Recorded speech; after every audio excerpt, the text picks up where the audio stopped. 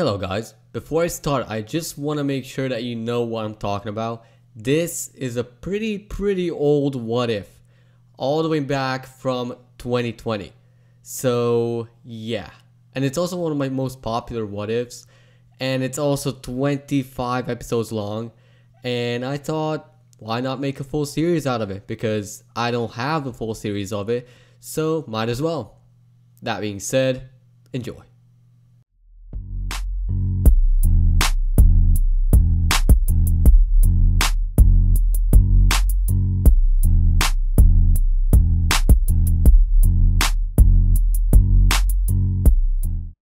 The current age is 732 and the Saiyan King's son, Vegeta IV, has been born.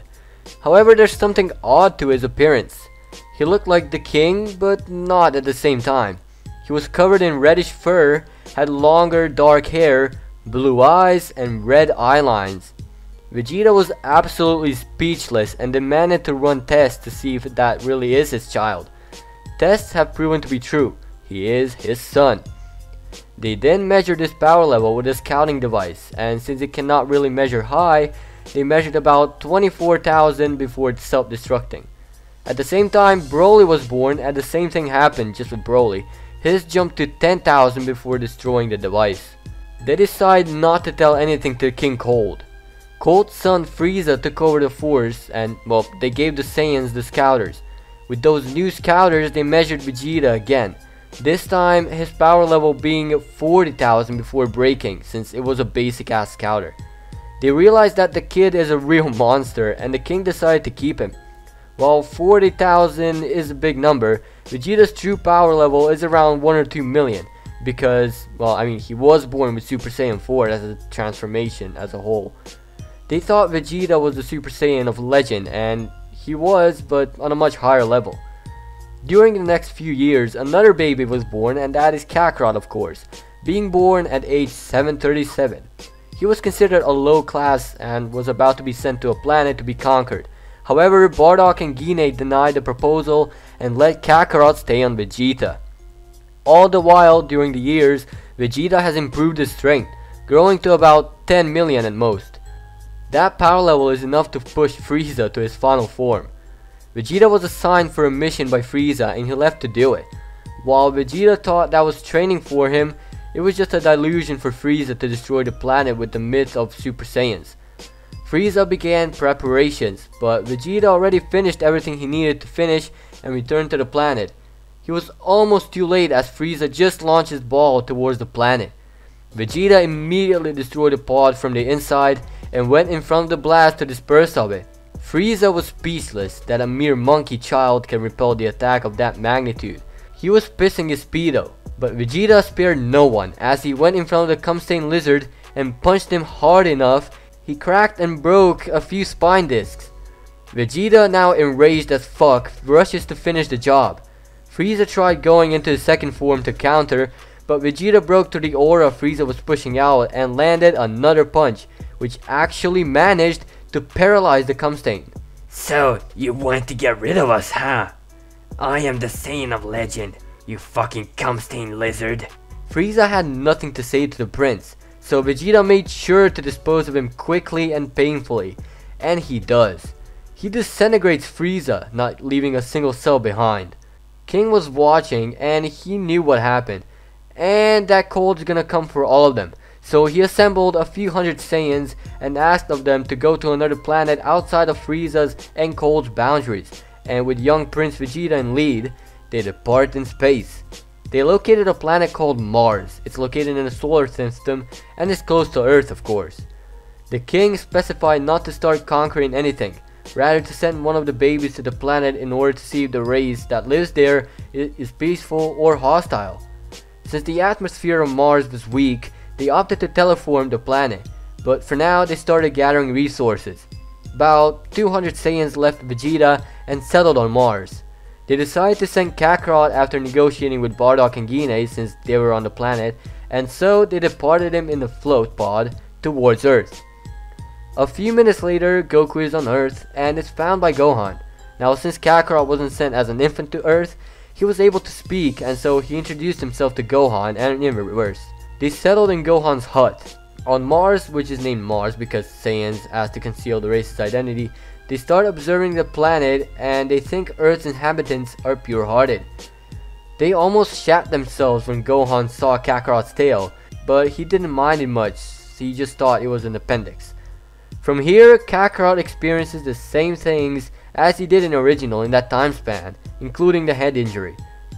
Bardock knew the impact was hard enough to cause some kind of brain damage, but he didn't know it was long lasting as Kakarot got amnesia. Gohan immediately took him in to heal up. Bardock and Gine decided it was enough and they got to getting Kakarot back. Gine escaped while no one was looking and without Bardock fled to Earth. Upon arrival, she sees Gohan outside praying so Kakarot gets better as soon as possible. He then senses a presence behind him as he turns around and sees Gine. He asks who she is and she answers truthfully, saying she's Kakarot's mother. Gohan then takes her in for a talk. She spills out everything about the Saiyans and where they are located right now. After the conversation, she decides to leave Kakarot with him. Back on Mars, Bardock finds out and so does Vegeta. Vegeta thinks nothing of it. Even so, he wants to meet the king of the humans. With that, they began preparations for the meeting of the two kings. Prince, well now King Vegeta, has decided to meet the human race and to have a conversation with their king. Vegeta needed a messenger, so he sent Bardock to do it since he was proven worthy of the Saiyan race, despite being a low-class warrior. So Bardock heads to Earth and lands safely in front of the king's castle. Bardock gets to the door and is met with the guards. He wanted to just push them away, but he was warned to be polite, and so he told the guards that they're on a planet next door and would like to meet him as the human race. He arranges a quick meeting with the king and he realizes it's a dog. He almost cracks up but asks if he really is the king. King Furry confirms it. Bardock then tells him how he belongs to the same race and how they settled on Mars, despite being reluctant. The Earth King is confused and asks Bardock to elaborate. Bardock then continues on about their race, but conceals the secrets. The king would like to meet their leader and Bardock is happy he succeeded in his mission, thanks to the dog, and departs back to Mars. He tells Vegeta the good news and so they arrange the meeting. He asks of his bodyguards not to hurt anyone as that will set a bad image for the humans as they want to live peacefully. The day has come and a few ships descend before the Earth's King's castle and they introduce themselves. I am the king of now terraformed Mars, Vegeta. I see you have a nice planet on your own. We come in peace. I just want to notify you humans that we have colonized Mars so we can live in peace. During the speech, Bardock dipped out of there and started searching for his son. Midway, he looked at the television in a nearby shop and saw Vegeta giving his speech. He cringes and moves on. He recognizes Gohan from what Gine told him and asks for Kakarot. He sees his son, however, he's just playfully running around. Bardock comes over and picks him up. You listening to your old man? Yes. Good. Take good care of him. Bardock then calls up Gohan in the woods to talk and they then go. I'm his father if you haven't noticed. I know he has amnesia and doesn't remember me at all. He doesn't know that I'm his father. You're my dad? Uh, I... Yep. Kakarot overheard the conversation and finally understands why that man looks just like him. They explain everything to him, including where they live. Bardock promised he'll come back every once in a while to train little Kakarot. With that touching moment, he heads out. Back at the castle, Vegeta and Furry have become allies. Furry likes Vegeta and his race as whole for strong passion for combat and Vegeta likes Furry for being so simple-minded.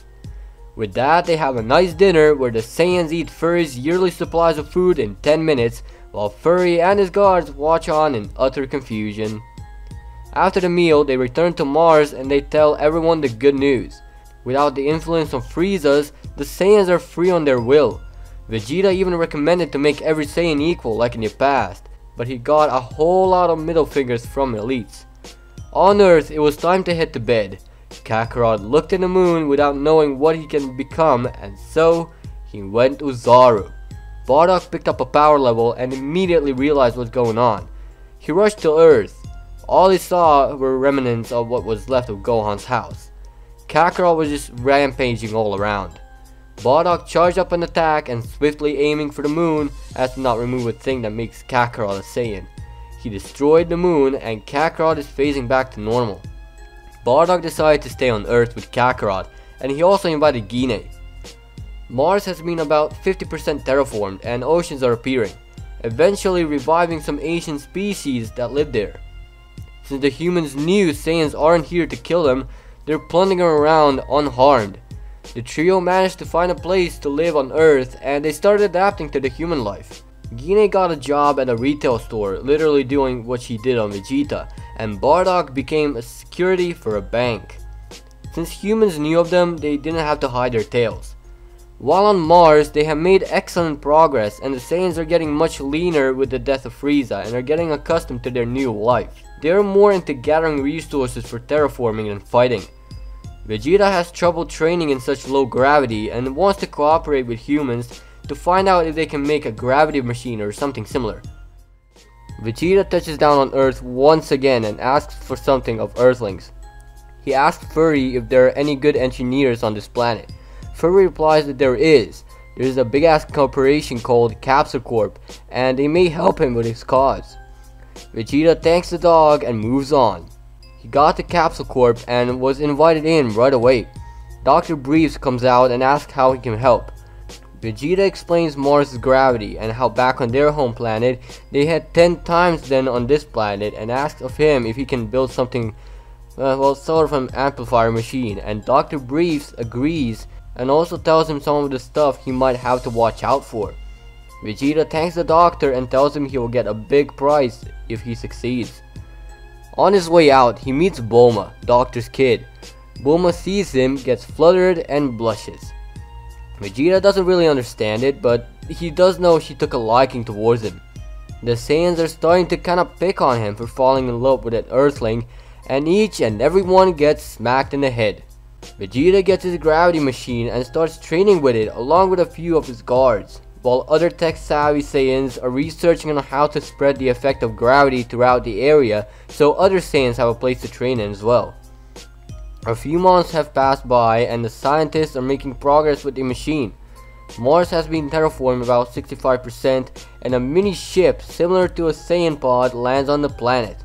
Vegeta was the only one who wasn't afraid so he went to get it. Inside were some of the scouters and a note saying, Son, if you're reading this then you're lucky. We are currently under attack, and I don't think we'll handle ourselves much longer.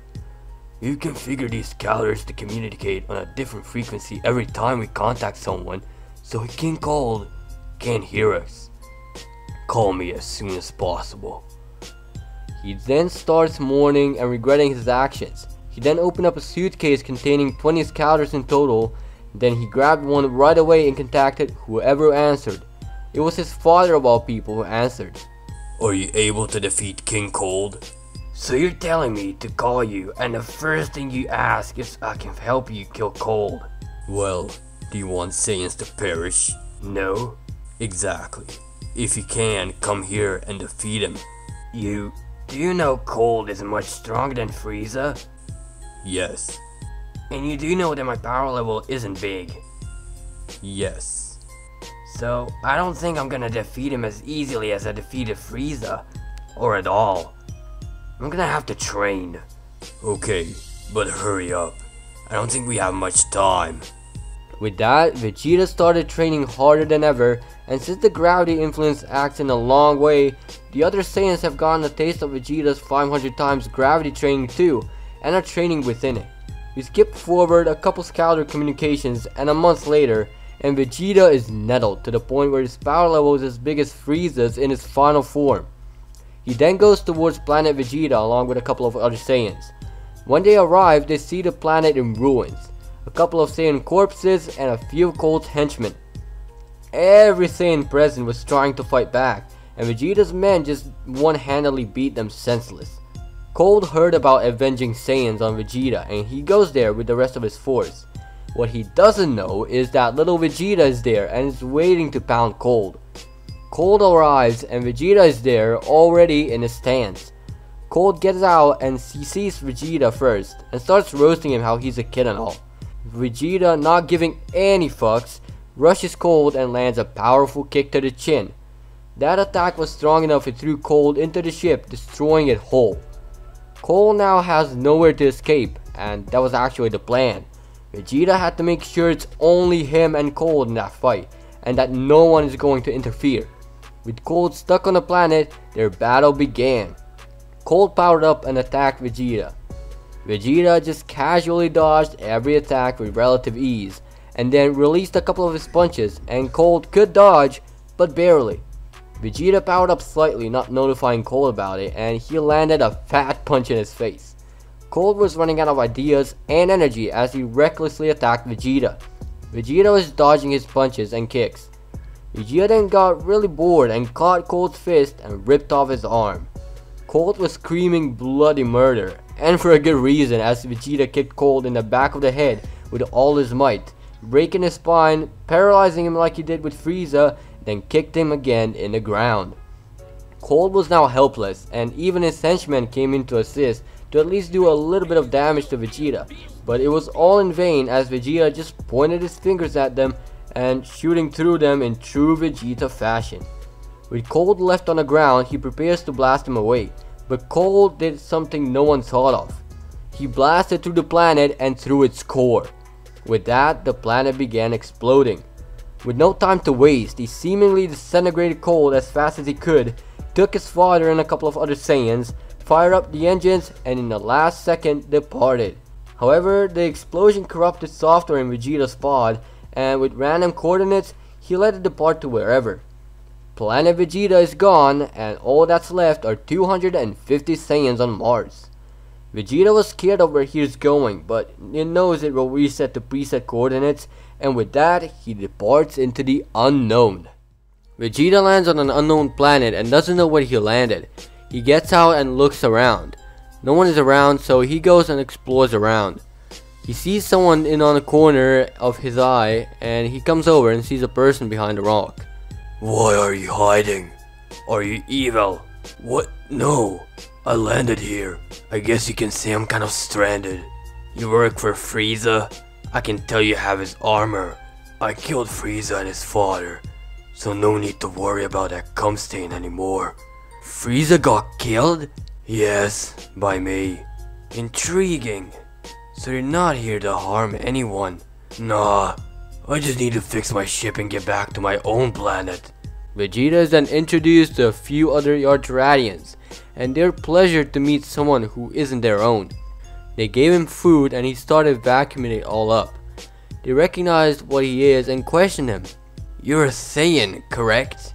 Yes, I'm a son of King Vegeta. Everyone is stunned that they're talking to royalty, and a good saying too. You're not violent like your comrades. when you live next to a planet with peaceful life, you change, you know. Oh, so what planet is it? I'm currently settled on Mars. I've heard of it. It's about 7 light years away from here. Earth is very habitable and has life, but Mars isn't. How do you even live there?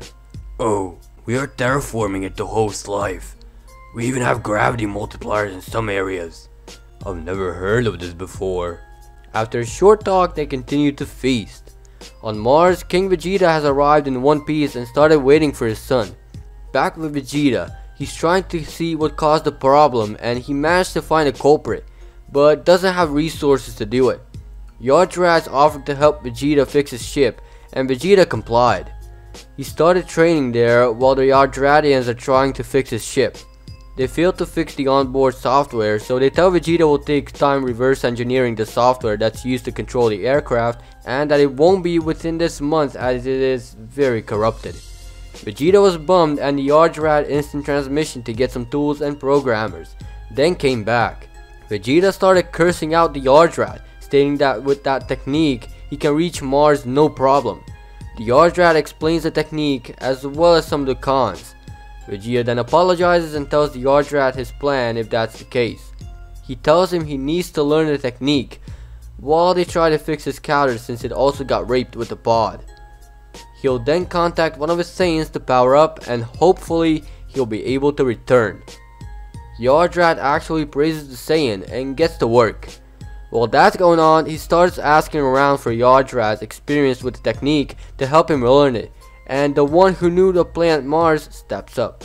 If you think he'll use this technique to conquer planets, you're sorely mistaken. No, sir, I have a better plan on how to get back home. Vegeta then tells him the plan. So you're saying we'll talk to them before you do it, so you can trace their power level? Yes, that's exactly that. You're about to experience the longest few months of your life. Are you ready, Saiyan? You bet I am.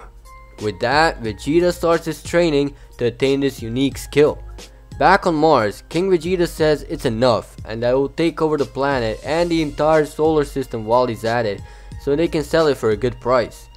Every Saiyan disagrees, but he is the king so they have to pretend to obey him. They have the scouters on for every Saiyan on Earth to hear, and Bardock is not happy about this. King Vegeta starts with Earth first and goes to pillage it. The second he lands, he's met with angry Bardock. Like hell I'm gonna let you do as you please. Go away. You obey your king, and you will do as I say. I'm way stronger than you. Don't make me laugh. With that, Bardock decked King Vegeta with one punch and kept him pinned on the ground with his foot. I believe you won't soon forget that a low-class Saiyan had you under his feet, King. Everyone looked at Bardock, whose balls were already hanging for 15 feet. I will be the second in command here, in the absence of Vegeta. They agreed, and so Bardock took over the force, his headquarters being his apartment on Earth, but still, he's trying to have a good life. The Saiyans finally have a good replacement for the young king, and the planet seems to be good. It has been about 7 months since Vegeta landed on planet Yardrat, and Vegeta finally managed to learn something called Spirit Control, which is a crucial skill to learn to do instant transmission. He then starts his training on trying to teleport. His first order of business was to locate and teleport to the scientist repairing his counter. He locks onto them and, well, he can't do it as easily as he had hoped. As much as he struggles, he just simply can't do it. All he needs is focus, and the Elder noticed it, but doesn't tell it to him. After realizing the Elder knows he's doing something wrong, he focuses and teleports to them for the first time. The Yardratian was pleased to see Vegeta teleporting for the first time, but still doubted whether he'll use it for good or bad, as this technique is allowed to be used on this planet only. Vegeta celebrates his first attempt and continues on practicing the technique.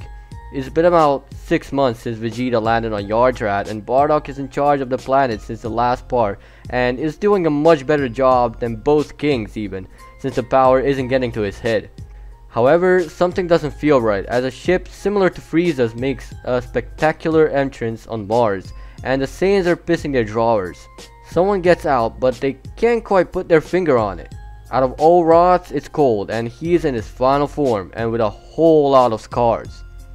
Bardock, naturally being the strongest there, makes quick talk with the father Kumstain. What are you doing here? I thought I'd find Vegeta here. You know, the one who almost killed me.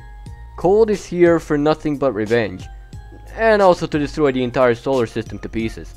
The entire Saiyan is on their feet and is scared shitless. Vegeta is still mastering instant transmission and is close too. He's thinking about the Earth Girl, Bulma. He's thinking about that sign of love and all, taking his focus off from training for a while.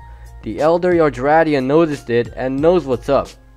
You've got a little bit of stardust in your eyes, huh? You wanna bang?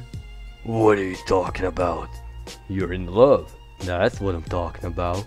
Yeah, well, I... It's written all over your face. Who is that female companion you have a crush on? Yeah, well, there's one girl I met. She noticed me first and threw a sign. Well, all the more reason to hook up with her. She's not a Saiyan, idiot. How am I gonna continue my legacy with a half-breed? Worth a shot. Did you know that hybrids sometimes have a bigger potential? What? Vegeta is interested in the concept, however reluctant. After the conversation, Vegeta continues his training. The Yardratian scientists have finally fixed the scouter. They put it up online and they start transmitting to another scouter. King Vegeta answers, and to say he exploded into the earpiece is too little, but I'm going to say it anyways. He exploded into the scouter, asking where in the hell he is, because Cold is after the entire race and the Earthlings. The Yardratian rushed to Vegeta using his instant transmission and gave him the scouter. Yes? Cold is here and is more powerful than ever. Where the fuck are you for saying God's sake? Cold's back? Yes, get your Saiyan ass back now! I'm on my way. Hold tight. But first tell Bardock to power up as high as he can. Why him? Maybe because he's vastly more powerful than you? Ah, Alright, I'll do it. King Vegeta tells Bardock to power up to his maximum, and in confusion does so. He powers up, and King Vegeta realizes how much more he has to train to take the mantle again. Vegeta senses him and instant transmissions after saying his goodbyes and gratitude. Bardock sees Vegeta appear right before his very eyes, witnessing instant transmission for the first time, and is confused as fuck. Vegeta senses cold and turns his attention to him. We meet again, old Kumstain. Indeed, Prince of 200 Saiyans. Well, would you like to get killed again? We'll see about that. With now powered up but holding back cold, they initiate the battle. The battle starts off easy, with both Vegeta and Cold holding back. The battle prolongs for a little while before they power up, with Vegeta using 20% while Cold uses barely anything. They initiate the fight and it's obvious that Vegeta is actually trying, while Cold is casually doing nothing but dodging, literally. He then becomes bored, powers up and starts pounding Vegeta. He enjoys it with all his soul. Vegeta is not liking it one bit, so he powers up to full power and tries to do damage to Cold, but Cold doesn't even feel it, so he gets knocked to the ground. I wonder what will happen if I went to the planet next door. Don't you dare try, Kumstain! Cold then uses his advantage of being able to survive in space and flies towards Earth. Vegeta follows him with his instant transmission and kicks Cold away, but to no avail as they're hovering above Capsule Corp. I won't let you hurt the people of Earth. Not now, not ever. Your race is supposed to be ruthless.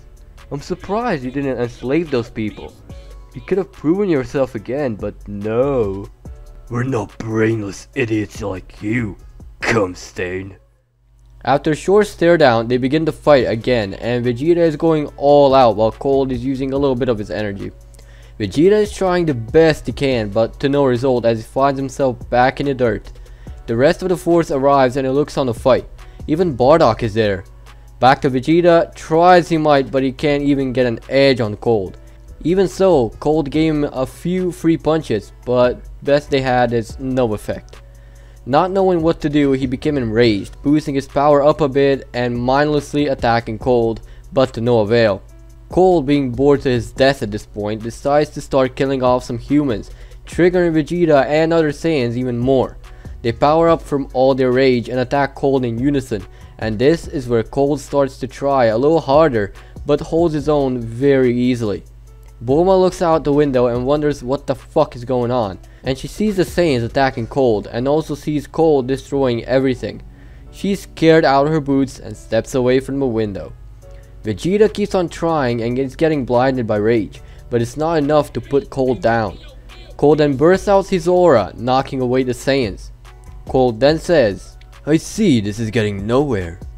I'm going to settle here for now. These humans might be of great use to me. If he can beat me within the remaining week, I'll leave this part of the galaxy alone. They know he's talking shit and what's even worse is that they have 4 days to train, which won't make a dent on the tyrant. They're forced to leave with their tails between their legs. Korin then confronts the Saiyans.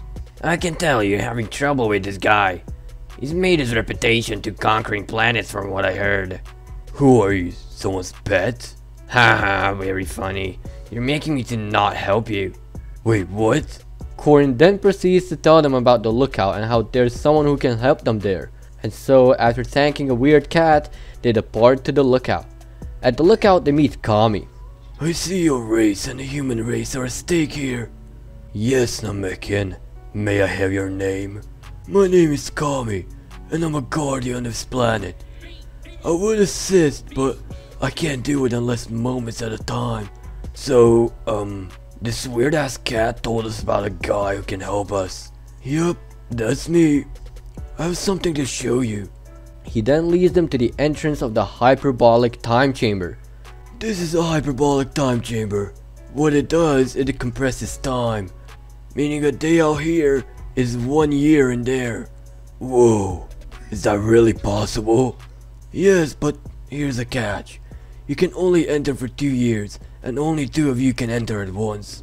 Well, let's see. One, two, three, four, five, six. I think we can fit all seven of us in there. But the seventh needs a partner. There's this kid who has a whole lot of potential. We can add him. Broly, yeah. Heard of him. Alright, I'll go get him. Stay here. Vegeta then teleports to Mars and asks Paragus to take him as Cold is back and they need him since he has a lot of potential. Paragus is bitching about it, but Vegeta says that they'll get him back within 5 days. Paragus reluctantly lets him take Broly, and so they have the team. Vegeta knows of the kid's potential and takes him as his partner. Bardock takes Gine, the king takes Taro, being close to him and all, and Fasha takes Borgus. With that, the Saiyans decide to go in one at a time.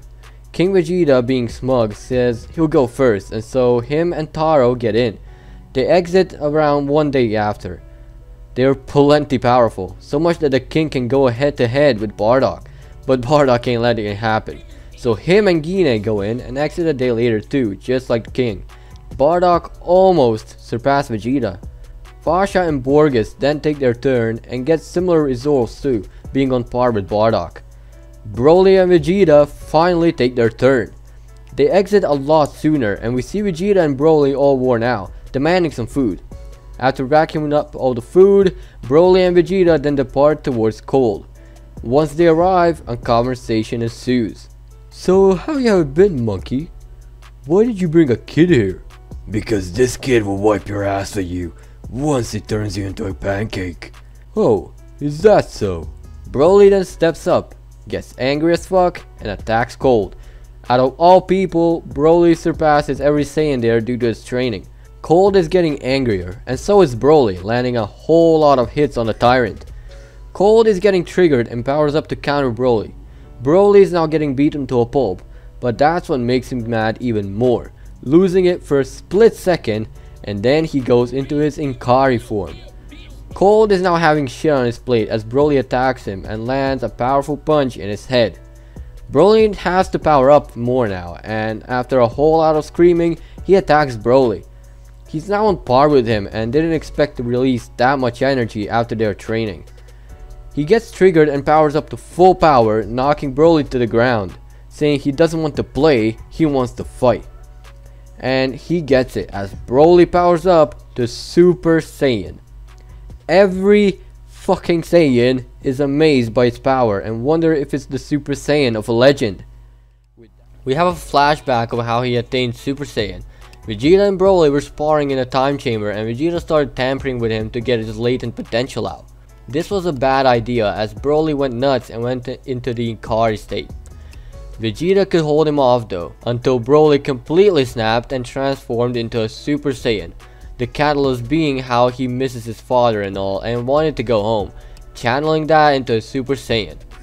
Vegeta was impressed and overwhelmed by the Super Saiyan, so he decided to find out what it is and how to tap into it himself. So Broly and Vegeta are starting to scheme how the transformation works and cool down the basics. Rage, need, and emotion. Something Vegeta has to work on to achieve it. Broly has succeeded to enter the form on his own, but Vegeta is having trouble, so he asks to give him a catalyst. Broly helped him with a full power blast, much like Goku did to Gohan in the Cell Saga. Vegeta has gone into his subconsciousness, picturing the solar system, Mars, Earth, and everything gone by Cold's hands, much like what happened to planet Vegeta. This has created a necessary need to transform into a Super Saiyan for the first time, exploding like crazy and after a bit of coping, he realized he's done it and then he finally realized what he was missing, or rather needed to access the form. With that out of the way, they're working on mastering the form and also making it more versatile in combat. Back in the present, Broly is now a Super Saiyan, and the Saiyans are wondering if it's the Super Saiyan of legend. Broly, now being vastly more powerful than Cold, destroys his ass like you destroy your browser history.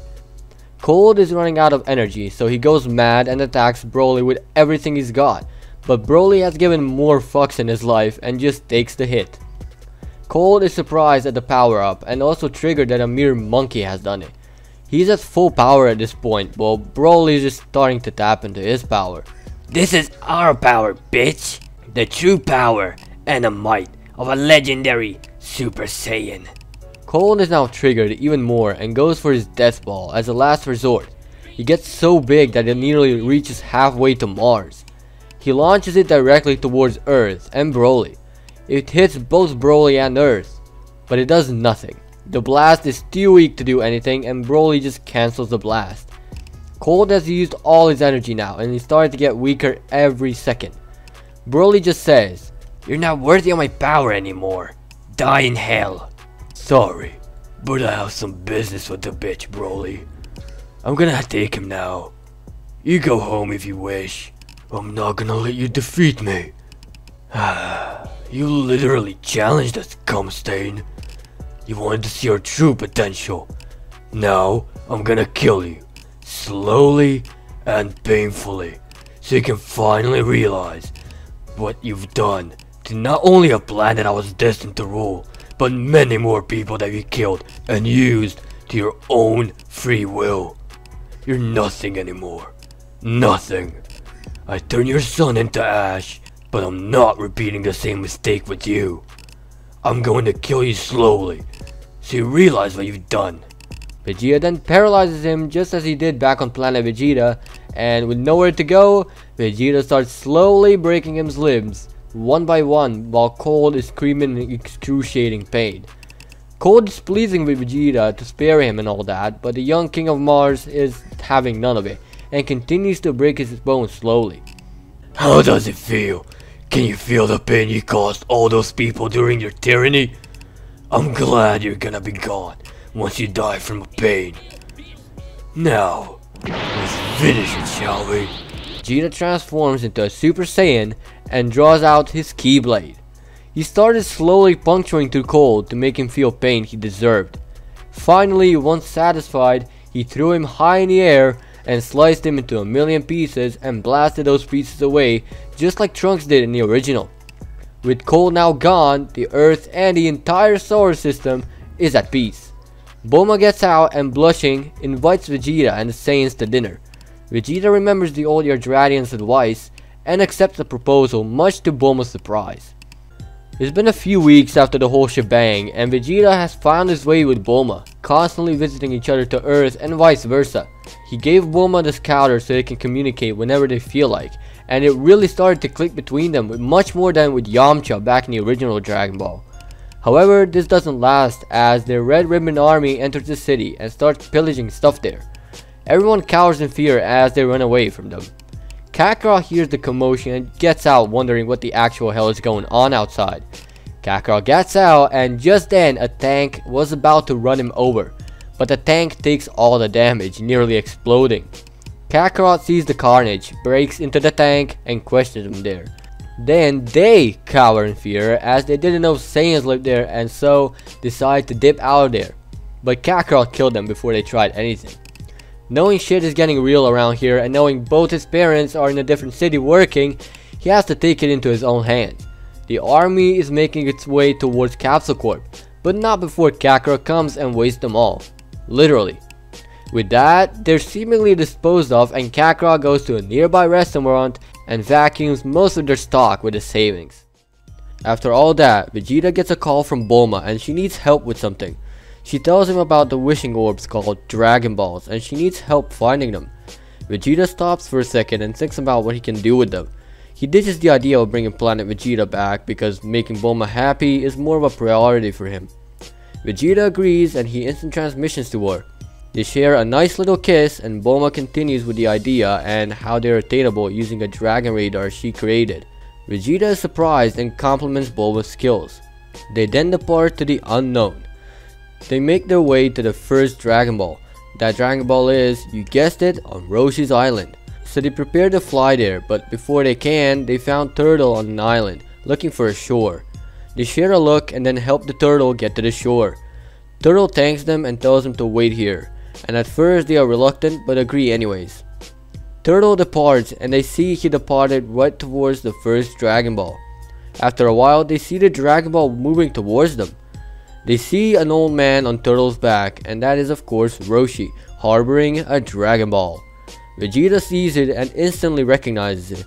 He asks the old man for it, but Roshi is after the pussy, so he asks Bulma for underwear. Vegeta, once processed it, starts screaming at Roshi for even thinking something like that. Roshi notices Vegeta as a Saiyan and asks him a few questions about their race. Vegeta is now confused at this point and answers them somewhat truthfully.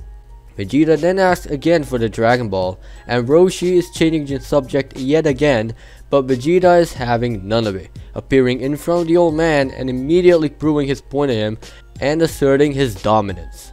Vegeta then gets his Dragon Ball and the pair depart on their merry way. Meanwhile, Kakarot has returned home and thought of that army that started pillaging the city. He knew there were more of them remaining since he knew that they're not the only ones, and so he packs his shit, writes his parents a note, and departs into the adventure. On his way, he gets upon a village and gets introduced to Oolong, a shapeshifter who is taking away women. He enters the village and everyone is inside, scared of him that he might be Oolong. Just as that happens, Oolong barges in as a dressed up demon, looking for a girl who he'll marry. Kakarot looks at him in utter confusion and then gets in his stance. Oolong attacks Kakarot, but he blocks it with his finger. Oolong is now in danger as he transforms into a bat and tries to run away, but Kakarot flies up in the air and catches up to Oolong and catches him.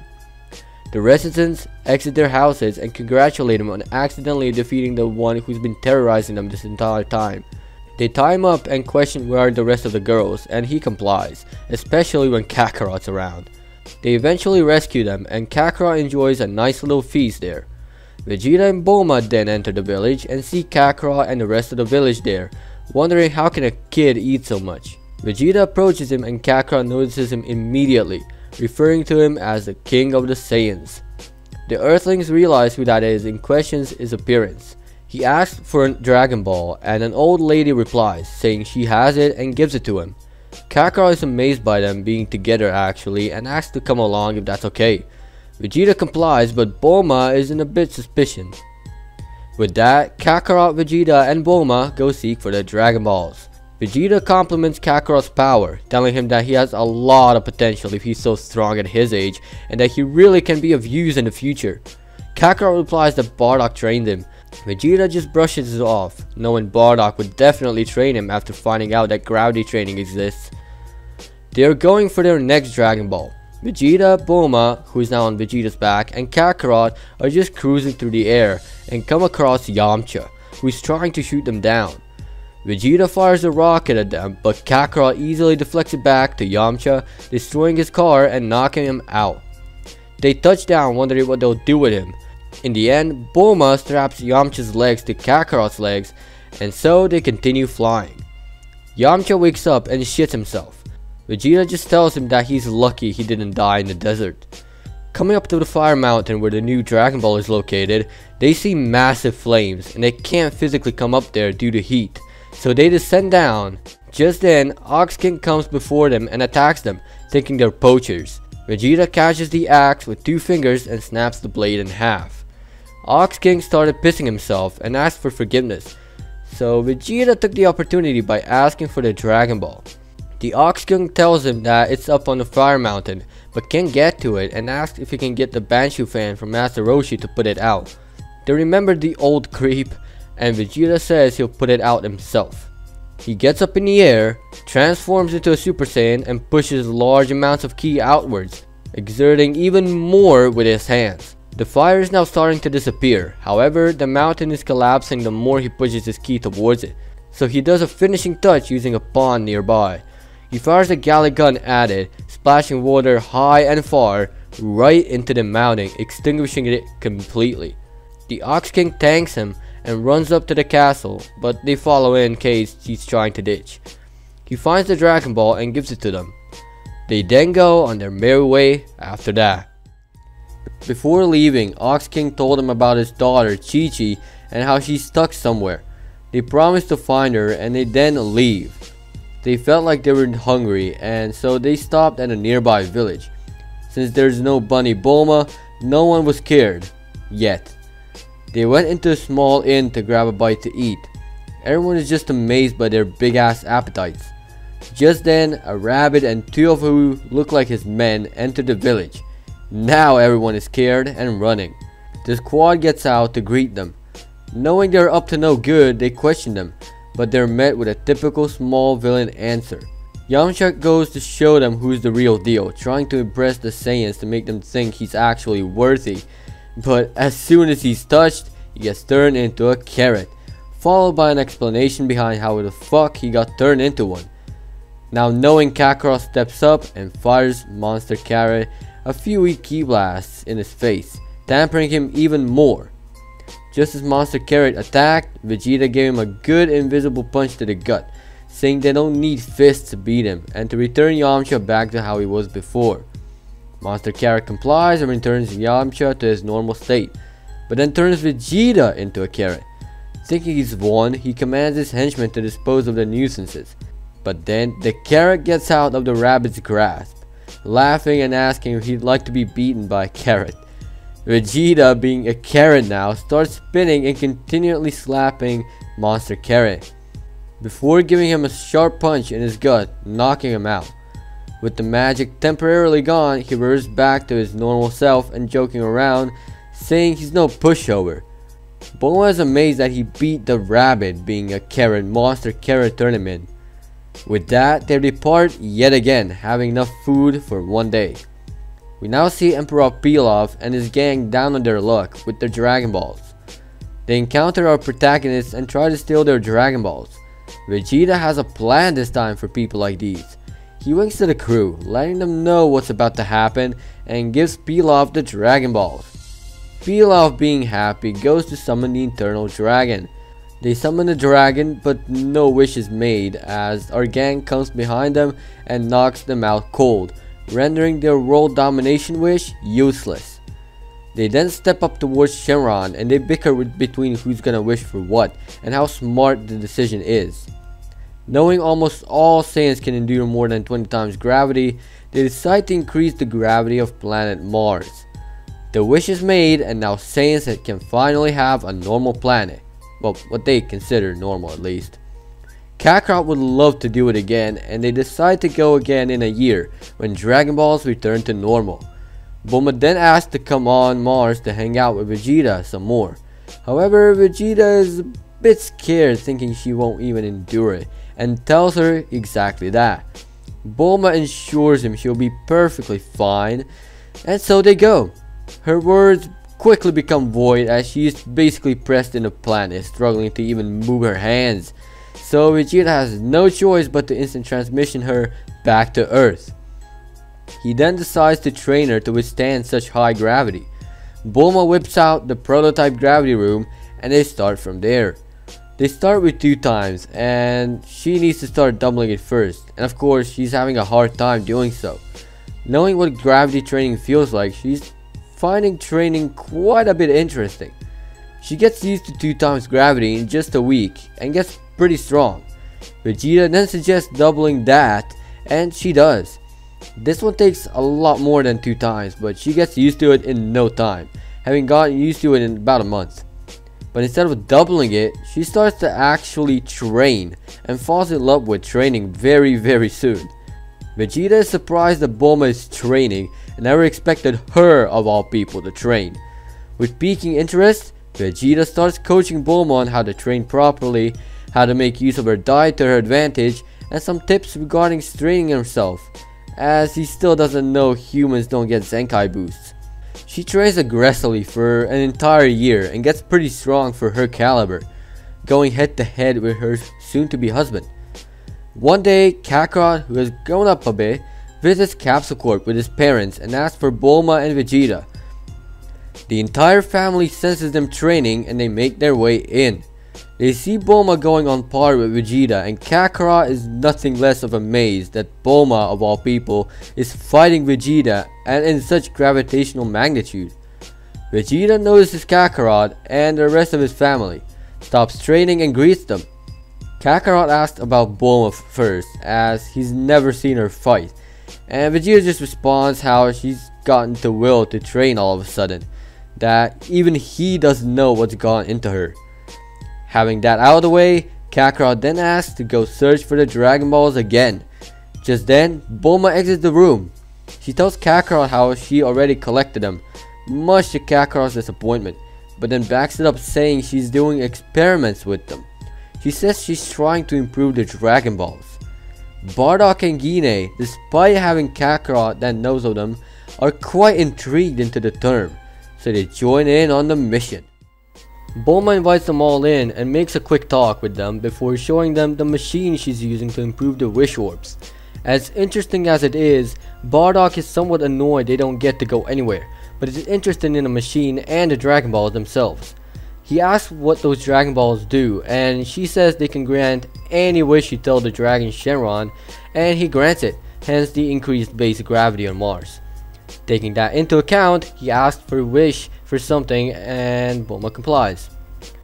She summons Shenron and the intensity of the summoning is way greater than the normal dragon can do.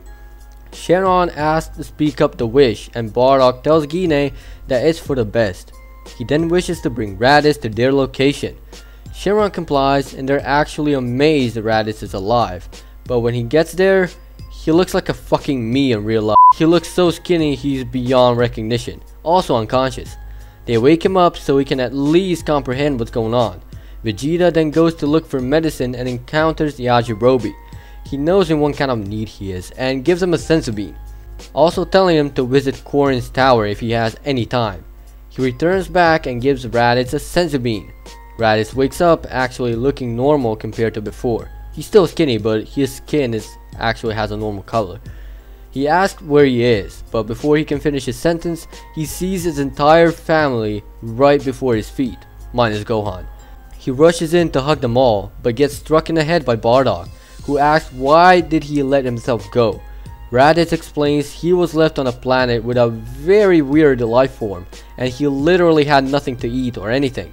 He had random patches of water around his cave, and he had to eat a weird sand. It helped some, but it didn't let him train whatsoever. So he had to rely on some shit tasting water and sand. They took pity on him for him considering how bad he looked, so they gave him some water and food, despite having senzu a few minutes ago. While they're all eating, Raditz asked about a new life, and they say they have a new planet and king, pointing to Vegeta. Raditz is confused because Vegeta is so young, yet a king. Now knowing who is the new king, he asks if this is the planet they're ruling of. Bardock then points to the sky revealing a perfectly visible Mars, looking more like Earth than Mars. Raditz is amazed but keeps his composure.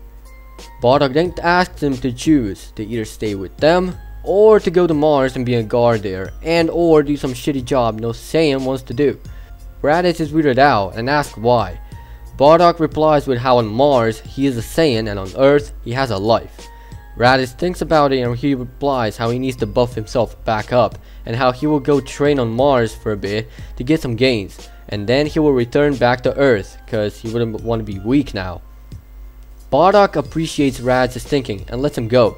Vegeta instant transmissions him to Mars and then returns. So now the family got bigger again and they are happy and confused. Bardock and Gine are happy their firstborn is actually alive, and Kakarot is confused he has an older brother. Bulma breaks the emotional moment and explains how the Dragon Balls will become usable after 3 months instead of 1 year. The squad gets happy to get 4 wishes in the span they could have gotten in 4 years, instead in only 1 year. Knowing that, Bulma activates the curing process that allows the shortening of time. They then return to their daily lives. Three months later, a new threat has risen. Bulma goes to her laboratory and finds the Dragon Balls missing.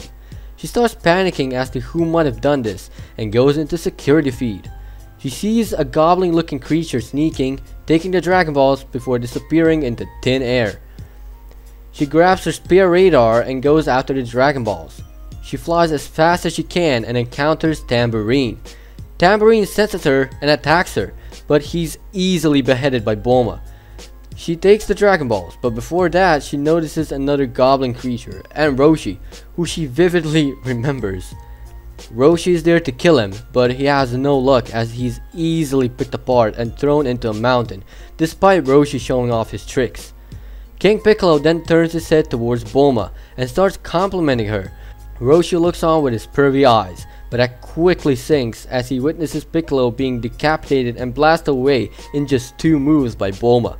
Before dying, Piccolo spits out an egg and then leaves the atmosphere along with Bulma's blast. With that, King Piccolo is no more and the peace is yet again. After that, the Dragon Balls became slightly corrupted since they were removed from the machine and the dragon couldn't be summoned. So she returns them in a machine and lets them cure for another 3 months. Vegeta then drops in, being worried since he sensed something going on, but Bulma just brushes it off, saying she's already dealt with the nuisance. Vegeta has brought something, which he gives to this woman. That thing being Saiyan armor, now being actual Saiyan armor, telling her that this armor will protect her pretty good, while in reality, she just wants her to look like a Saiyan. Bulma wears it right away and Vegeta compliments her looks, making her blush and wondering if the armor is turning on the Saiyans, so she keeps it on. They then go train. During the next couple of years, quite a bit has changed.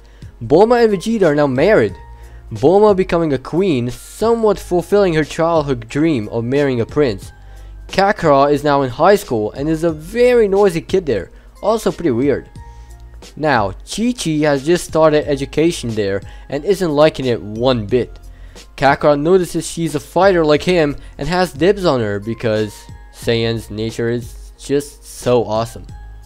However, there's a girl who likes Kakarot, Mint, She's in love with Kakarot for a weird thing, his stubbornness and a will to fight as well. So it's kind of a love triangle in a way. Krillin is also there in the high school and is the bullied one. Kakarot soon finds his way to him and starts defending him, getting in trouble along the way. Mint asks Kakarot for a date and he is dumbfounded by the confession but agrees. After school they go for a nice refreshing drink and talk. He finds out her brother is a fighter too and is instantly interested in that side of the story. He starts taking a liking in her too, having an inner monologue discussing where to go for her or Chi-Chi and decides to play along with Min to see how that will unfold. All of a sudden, he senses a strong power descending into the city. Kakarot looks on as a green looking creature descends upon the city, destroying buildings for a neat entrance. Kakarot prepares for the worst, but all the creature asks is for a girl named Bulma Briefs. Kakarot is reluctant to tell as he just saw him destroy stuff around him and calling him out for it. The green creature decides to kidnap Mint, but is quickly kicked away by none other than Kakarot, now promising their business is on. They both power up and it's obvious the creature has a higher advantage and starts pounding Kakarot into oblivion. Bardock senses the distress and rushes to see what's going on. He sees the creature preparing to kill his son, but he ain't letting it happen as he rushes in in his Super Saiyan, kicking him away. He then turns to his son, mocking him for not using his Super Saiyan, and Kakarot replies with a typical Saiyan answer, saying he just wanted to see how strong he is. Kakarot then gets up, telling his father to leave, and turns to the goblin. Kakarot turns into his Super Saiyan and reinitiates the battle. The battle is quickly decided, making the goblin lose. All of a sudden, Bulma arrives on the scene and sees the goblin and shouts out that it's Piccolo Jr. and that he's come for her, recapping what's gone on 3 years ago. Bulma tells Kakarot to handle it as she's hopeless here, as she's just a mere human and doesn't want to risk her chances. Kakarot complies and rushes Piccolo Jr., making him go straight in the ground. Mint is surprised in Kakarot's abilities and praises his power, Kakarot blushes and continues on. He walks up to Piccolo and tells him it would be a waste to kill such a strong opponent and that's the first time he made him feel so alive as a Saiyan, saying he made him whole again. Piccolo made his peace with Kakarot, but he has one more enemy, Bulma. He knows if he tries anything right now, he'll probably die, so he makes his peace with his inner demons and leaves. Kakarot, still in his Super Saiyan, takes Mint by the hand, making her blush, walks up to Bulma, asks if she is alright. Bulma responds with yes and returns to her business. Mint is in love with the blonde Kakarot and asks of him to stay in that form, and he does. It's been about 5 years now, and Kakarot and Mint are planning their marriage. Vegeta and Bulma are about to have a baby, and Raditz returns from Mars to his family, seeing his family growing. He's at Bulma's place most of the time, talking to Bulma and helping her with things, and that's when he hooks up with Tights. Raditz is now with Tights, and they're a happy couple, both having a lot of similarities. Having said that, the ceremony for Kakarot's and Mint's wedding happens, and he makes Vegeta his groomsman, being pretty close to him since his childhood. The newlyweds move to the outskirts of the city to have some peace, while Tights and Raditz have a place of their own near Kakarot. Bulma gives birth to Trunks, and they're so happy they created a Saiyan hybrid, especially Vegeta since he wants to see if hybrids really are more powerful.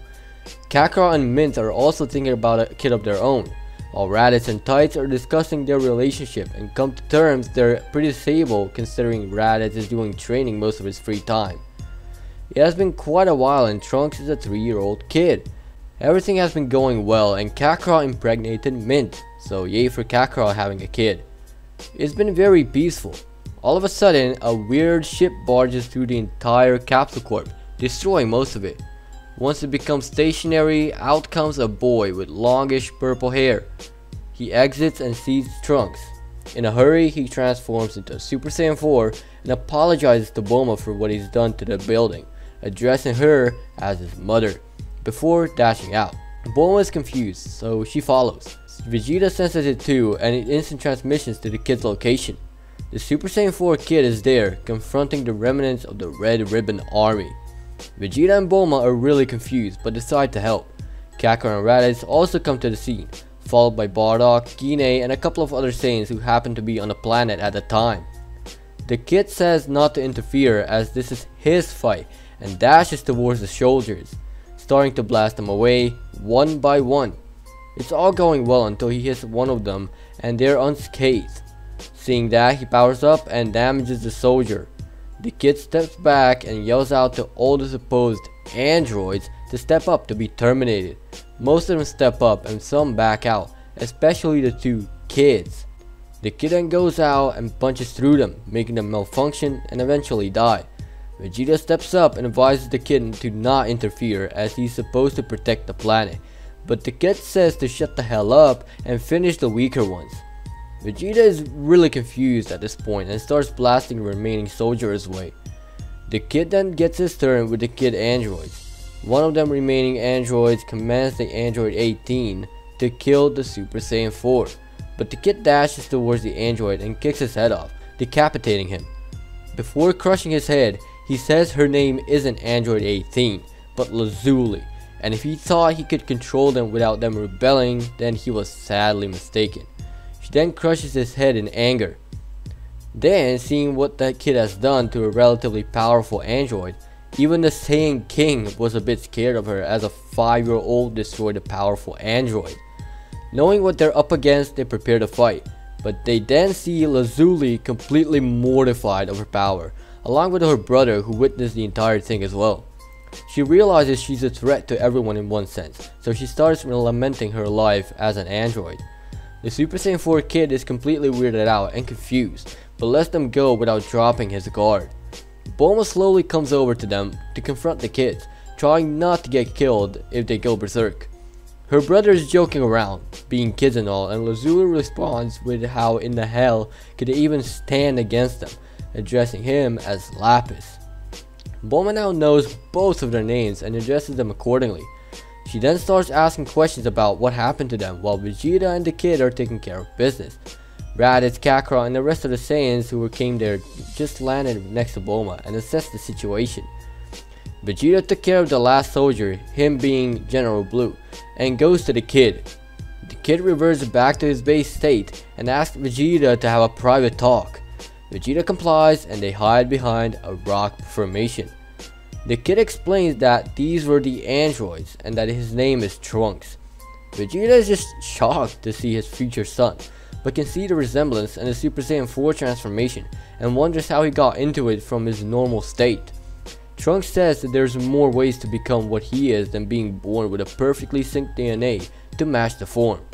Vegeta asks Trunks to elaborate and Trunks indeed elaborates, saying that he was born with something called blood waves. Knowing what it is, he gets that part, but being born with it is a bit trickier, so Trunks continues, saying that the mutation in his DNA made the Bloodwave reactors in his tail very very sensitive, so he got Bloodwaves from everything. Having that, Vegeta naturally evolved into what they call the Ultimate Saiyan, while in reality he was conceived with this and evolved by receiving random blood waves. Vegeta finally understood what his power actually was, and it was a normal transformation he was stuck in. Trunks then explained what happened in his timeline, hence being from the future. He explained that these androids caused havoc on Earth and killed almost all the Z fighters, leaving him and one more person that he is very reluctant to say the name of. Vegeta respects it but tries to get a hint out of his future son. Trunks just advises him to take a closer look at Raditz and Tights. Vegeta does so, but doesn't understand anything. Trunks then says his goodbyes and returns to his machine. He fixes the core components and the parts, leaving Capsule Corp open for everyone to see due to Trunks' appearance. Vegeta thinks about what Trunks said and comes to only one possible conclusion. Those two are gonna parent the person Trunks spoke of. It's been a few minutes after Vegeta figured it all out and he really is happy for the either one of them. They will have kids in the future. Trunks of all people then returns back saying he's forgot one more thing. Since his timeline was fucked, he needed to train, so he asked his father to train him. Vegeta complied and asked him if he can turn into a Super Saiyan in his Super Saiyan 4 state. Trunks is weirded out and says no since he never tried it. Vegeta tells him to do so and Trunks tries it out, but only manages to power up. Vegeta sees this is getting him nowhere, so he lets his son sense what he's doing so he can replicate it. Vegeta turns into a Super Saiyan, and Trunks figures out he drew the power from his tail along with the feeling of transforming into a regular Super Saiyan, so he tries it again. Being unsuccessful yet again, he asks his father what he's doing wrong, despite Vegeta's utter confusion. Trunks begs him to train him or something to make his base power stronger. Vegeta complies and they then go train. He tells Bulma he'll go on his planet to train, and Bulma doesn't really mind, even asking if she can really come to train the little Trunks along with them. Vegeta says yes and instant transmissions them all to Mars. On the planet, they train hard and they really are hitting it off with gravity, reaching tens of thousands of G's of gravity. Vegeta sees Trunks slacking off and pondering and asks him what's wrong. Trunks replies that he could have had a nice family and all that has gone to waste. Vegeta, in an attempt to make Trunks mad to give him the best that he's got, starts insulting Trunks, telling him that he's a waste of sperm cells, that he's a weak shit, a useless waste of what he can consider good atoms, and with that, Trunks starts crying at first. Vegeta uses it to his advantage, calling his son a crybaby and a useless shit and all that. All that triggers Trunks, so he powers up recklessly. Vegeta is surprised to say the least. He sees Trunks' power grow a whole lot, so much it keeps multiplying on itself. He then glows as his body disappears in blinding light, and Vegeta can barely keep his eyes open. That was a perfect catalyst as Trunks reveals a new form, never seen before. His hair was long and white, as well as his fur. Vegeta looked on in utter confusion and asked what is that. Trunks doesn't reply, he simply doesn't give a single shit and attacks the one who insulted him. Vegeta is overwhelmed by a lot and transforms into his Super Saiyan, but that doesn't help at all as he's being handed his very own ass.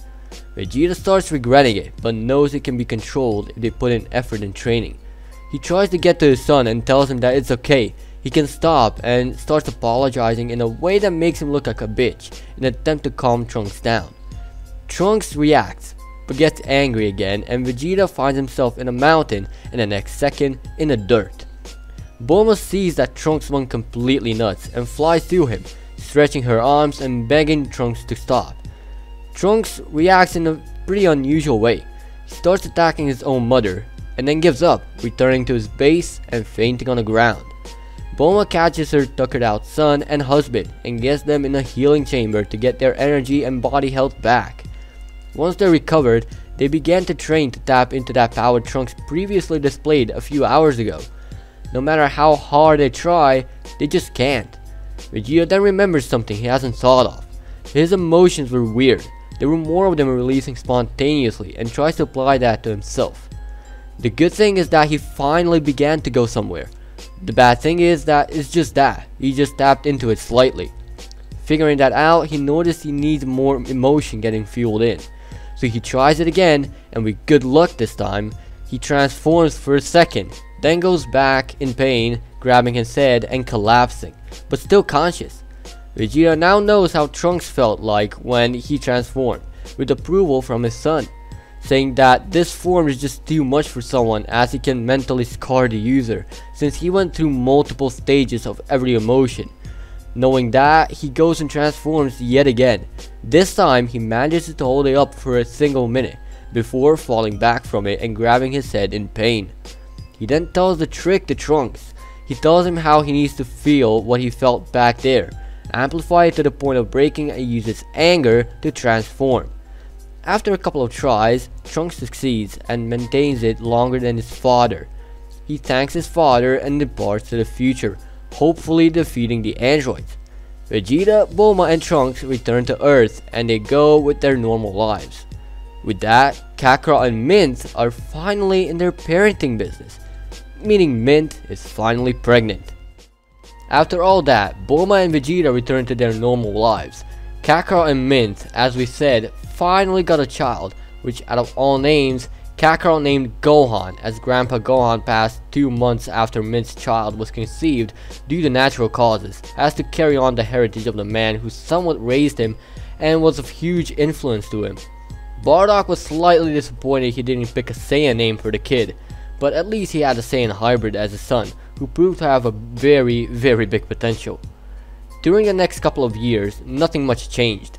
Trunks is now 18 and Gohan is 14. Raditz and Tights got married at one point and got a kid of their own named Aurora, who was 7. Vegeta and Bulma had another one named Ashalot due to Vegeta's influence, and Kakarot had Goten, as from the request from Mint, who liked the name starting with Go. Also, revealing Kakarot was named Goku by Grandpa Gohan before Bardock took him away to train him to become a Saiyan again. Ashalot and Goten were pretty much best buddies and of the same age, training and messing around all day long. One day, they saw an advertisement for the Tenkaichi Budokai, and they were really wanted to participate. Vegeta and Kakarot laughed it off, but made it happen as the kids were really up for it, thinking they can both benefit from it. About a month later, they join in and see many familiar faces. Yamcha is there, along with Piccolo, Kami, and three other people who just couldn't take their eyes off of them.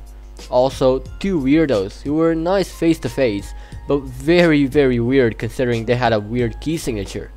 They sign up, thinking nothing of it, being made fun of all, all around the tournament grounds. Vegeta for his furry body, Kakarot for his hairstyle, Trunks for looking like a girl, Ashalot for being a girl, and the list goes on and on. Vegeta, being sick of it, sends them a nice little signal, pushing them all the way into Kami knows what obstacles, making them forfeit and run away like pussies. Vegeta, now satisfied with his outcome, signs up the kids. However, there's a problem. They need to go in the kids division. Vegeta just says to let them in, sliding in a couple thousand zeni in. The kids take the punching machine and pass it with flying colors, and now for the tournament. Everyone is looking on and enjoying the fight until one of the three Baldies rushes out and attacks Ashalot from behind. Aurora is mortified, powers up and rushes to defeat the Baldy, but is stopped by one of the two weirdos from before, telling her to let it go as she'll be fine. The Baldy then proceeds to suck a life out of Ashalot, who's frozen in place. Vegeta, who now mastered Super Saiyan 5, rushes to help. He's being frozen but his power is too much and the weird alien is overwhelmed by his power. The Baldy finally lets go and departs as quick as he came. They then follow and the weirdo follows, explaining who he is it turns out it's the Supreme Kai, and to say everyone was shocked is an understatement. He also explains what's about to go down. Apparently, a new evil arose named Majin Buu, and he's currently sealed in a ball. A wizard named Babidi is gonna use the power the guy named Krillin stole from Vegeta's daughter. His assistant, Kibito, is now healing Echelon and tells the rest of the squad to follow him to catch who did this. Back with Shin, he explains that they need to follow from a distance because who knows what will happen to them if they're too close. The other two psychos are right behind them and ready to take them on. Those two are of course Yamu and Spopovich and they're there after their blood. Being weak, they get killed instantly by Vegeta's ki barrage. Their crew arrives first on the scene and hide their energy, knowing they can also sense energy, and they just look on.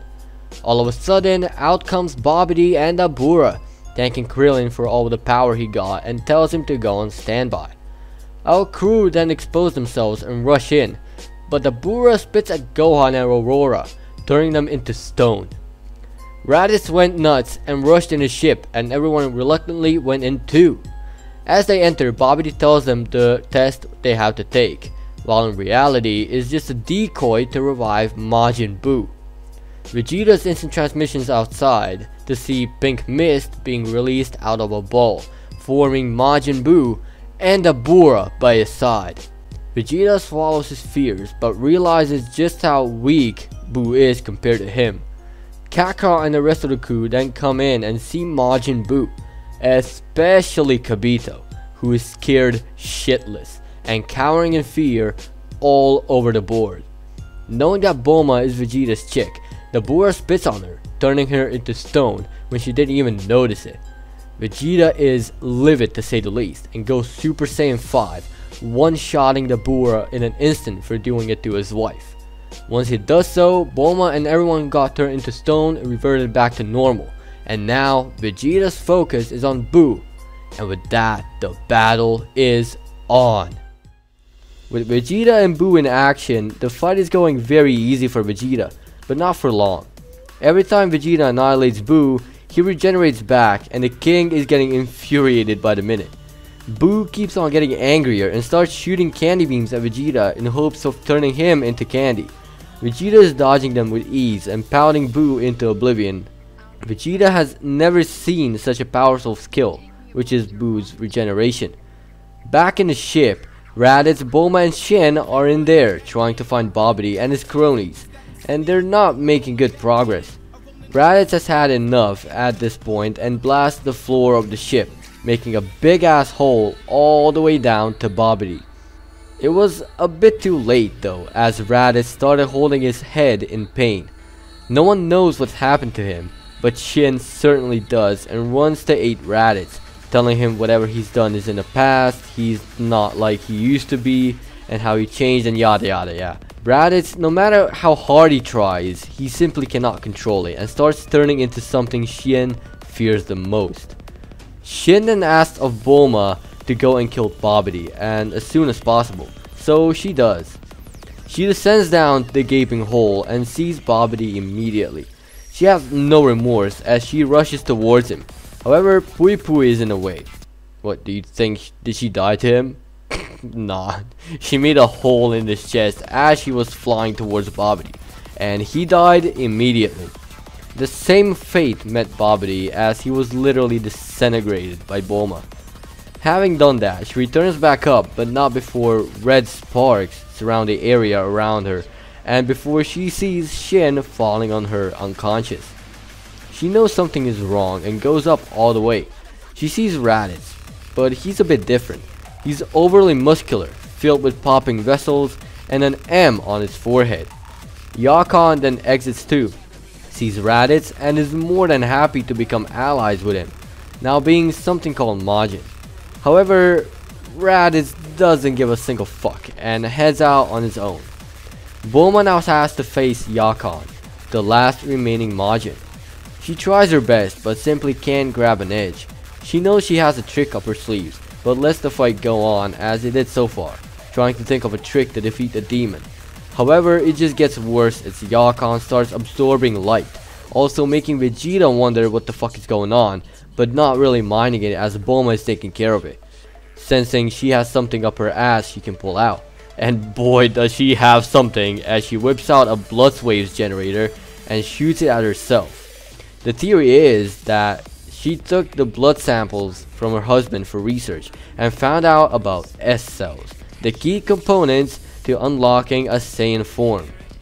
She did tests and figured out how to inject them into human bodies to use them as a human, and you'll see right now it worked. She started yelling and powering up as her muscles and energy started rising. Her eyes turned yellow and her aura became pure gold as she transformed into her Ikari state. Having accessed that state for the first time, her control isn't as she hoped for, and also, she didn't think that she'll enter that state and not the Super Saiyan, but lets it roll anyways. She now starts dominating Yakon. She's going hard. So hard, in fact, that Yakon starts relying on sucking in all the light he can suck in. It seems Bulma is overtaken, but she loses it for a split second, being in Ikari state for a few minutes so far, and completely obliterates Yakon with just one punch. Bulma has done her business and now goes off to face Buu along with Vegeta and the rest of the squad. Raditz is flying towards Bardock in the meantime, and once he found him, he drags him out in the open, berating him and challenging him to a fight. Bardock is confused, but sensing something isn't right, and they initiate the fight. So Raditz gets what he wants, and Bardock finds out what's wrong with his firstborn. Bardock is starting to struggle the second Raditz attacks him, wondering what's gone into him. He quickly realizes that maybe he became one of those weirdos from a while back, and Raditz confirms it without Bardock even asking him. Bardock knows he has to end it quickly and knows what to do. Since Raditz hasn't officially got Super Saiyan and Bardock has found a level beyond even, he taps into Super Saiyan and then powers up to stage 2. Raditz goes and does the same, much to Bardock's surprise. However, Raditz is weaker than his father despite being a Majin due to key strings. So Bardock uses it to his advantage. Bardock manages to defeat his son as Raditz goes unconscious. Back with Vegeta, he's still struggling with Buu and his regeneration, so what he does is he stops attacking to deal physical damage, rather he starts preparing a Galick Gun. Buu is infuriated enough already and is mindlessly attacking Vegeta. Vegeta just dodges while charging up the wave. Having charged it up, he waits for a good opportunity to catch Buu by surprise, but doesn't seem to find a good moment. Until he thinks about instant transmission. So he instant transmissions right under Buu and fires his combined instant Galick Gun right at Buu. This time, his tricks work, and as he sees Buu get completely dominated by the full power blast. With that, as no Babidi remained to control anything, Raditz and Krillin went back to their normal selves, and the Earth was saved yet again. They healed the Kais, and they said their goodbyes to them. It was a very peaceful time after Buu, so much so that Trunks has found his new mate, Videl. They hit it off, and not only Trunks liked her feistiness for combat, but he also liked her looks more than anything. They got into college, and lo and behold, they're in the same class, which meant more hanging out for them, and also more suffering for the teachers as they kept berating the two. Videl was trying to train hard for the next Tenkaichi Budokai, as she's supposed to be present there, so when she asked Trunks, he was more than happy to help, as his parents pretty much did the same. He taught her ki control and quite a bit of physical training along with it. Even taught her the Galick gun, somehow, making Vegeta proud when he dropped in on one of their training sessions. Also making him blush when he asked his son whether he'll marry the woman or not. With that, they're ready for the next tournament. Goten and Echelon are so happy they get to participate again, and this time, being a bit older, they can legally enter the adult division. After 50 more days of waiting, they arrive at the tournament grounds. They see Krillin again, this time not Majin. They also see Piccolo, being grumpy as always that Bulma is there, and Videl. Trunks immediately rushes to Videl so to back her up and be her support. Piccolo is utterly disappointed and can't wait to either kill her or hurt her enough to see what the son of Vegeta can truly do. He also compliments the Saiyans, being more on Earth than on Mars, even though he can teleport himself or more people instantaneously between planets. Krillin isn't really his old self and wants to prove to his masters and the Saiyans that he's the strongest one. The announcer berates the Saiyans for wearing armor, so they have to rely on their spandexes. With that, the tournament is about to begin, but Piccolo attacks Videl out of nowhere. She surprises him by blocking the kick.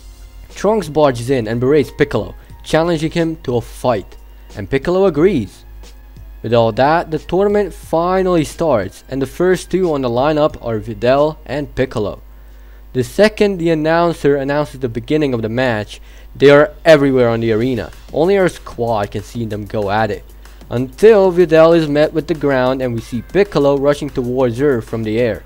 Videl fires a point blank Galick gun right at Piccolo and he's also met with the ground.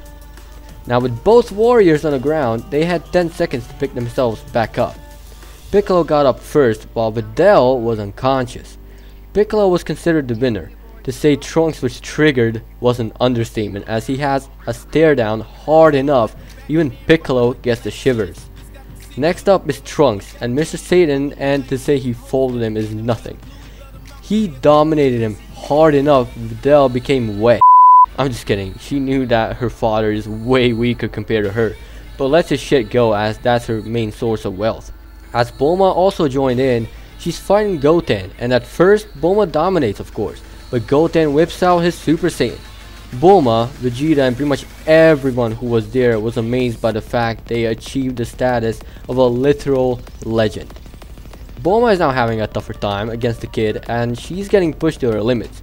She then starts raging and accidentally accesses the Ikari state, along with Goten completely speechless.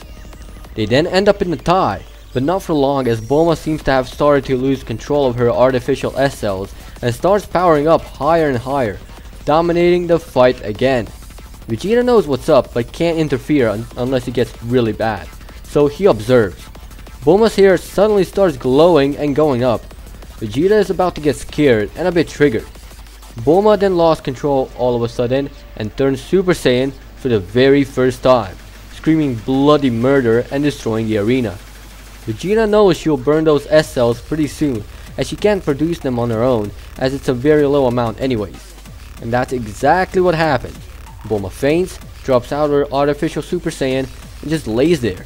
Vegeta rushes in to help and calls Goten the winner. After all that, Ocelot and Chi-Chi of all people enters the ring. Chi-Chi still has a teenager hissing fit because Kakarot chose Mint over her and wants to prove her youthfulness. However, she's out the ring in a matter of seconds by Ocelot. The quarterfinals are now over and semifinals are about to start. Piccolo, Trunks, Goten and Ocelot are about to fight next. Krillin and Chi-Chi are watching from the sidelines and Krillin starts feeling compassion and starts simping on Chi-Chi. The first to fight were Piccolo and Trunks. They begin and the first one to be dominated was of course Trunks, in his base even, as he wants to impress Videl with the one tappers, and to adventure too. He succeeds to win by a very hard kick to the neck. With that, Piccolo is out just as quick as he came. Goten and Ocelot then enter and begin their fight. At first they are equal until Goten goes Super Saiyan. Ocelot does the same. They keep on battling and wearing each other out, but Goten has a trick up his sleeves which is stage 2 Super Saiyan, and he tries impressing Ocelot, just like Trunks did to Videl, but in a weird way.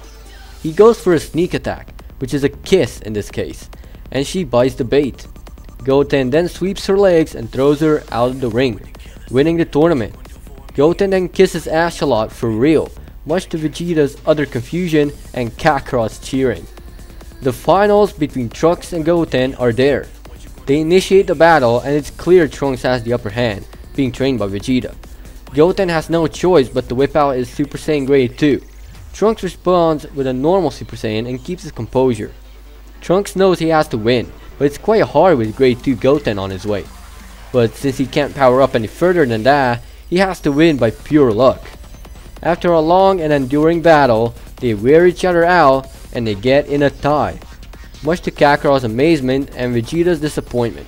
Kakarot goes to Vegeta and compliments both boys, saying they have a long road to cover. It's been another couple of years. Trunks and Videl finally settle in, and with the help of Bulma and Hercule, they get a neat place too. Their marriage is coming soon and they just can't wait. But it might have to be postponed as the destroyer named Beerus awoken from his 38 year sleep. Beerus is asking for a Super Saiyan God, of course, and Whis tells him how there is an infestation of Saiyans on planet Mars and a small group on Earth. Beerus is triggered by the word of infestation and is weirded out how Frieza didn't fulfill his promise. Covered by Whis how there was a very unique Saiyan child who killed him many years ago, going by the title of King Vegeta the Fourth. Beerus is getting interested in the concept of the Super Saiyan God, and so he asked Whis to take him to Mars first. Whis does so, but makes a few quick stops. First, he stops at the Kaioshin's planet after devouring a few planets on the way.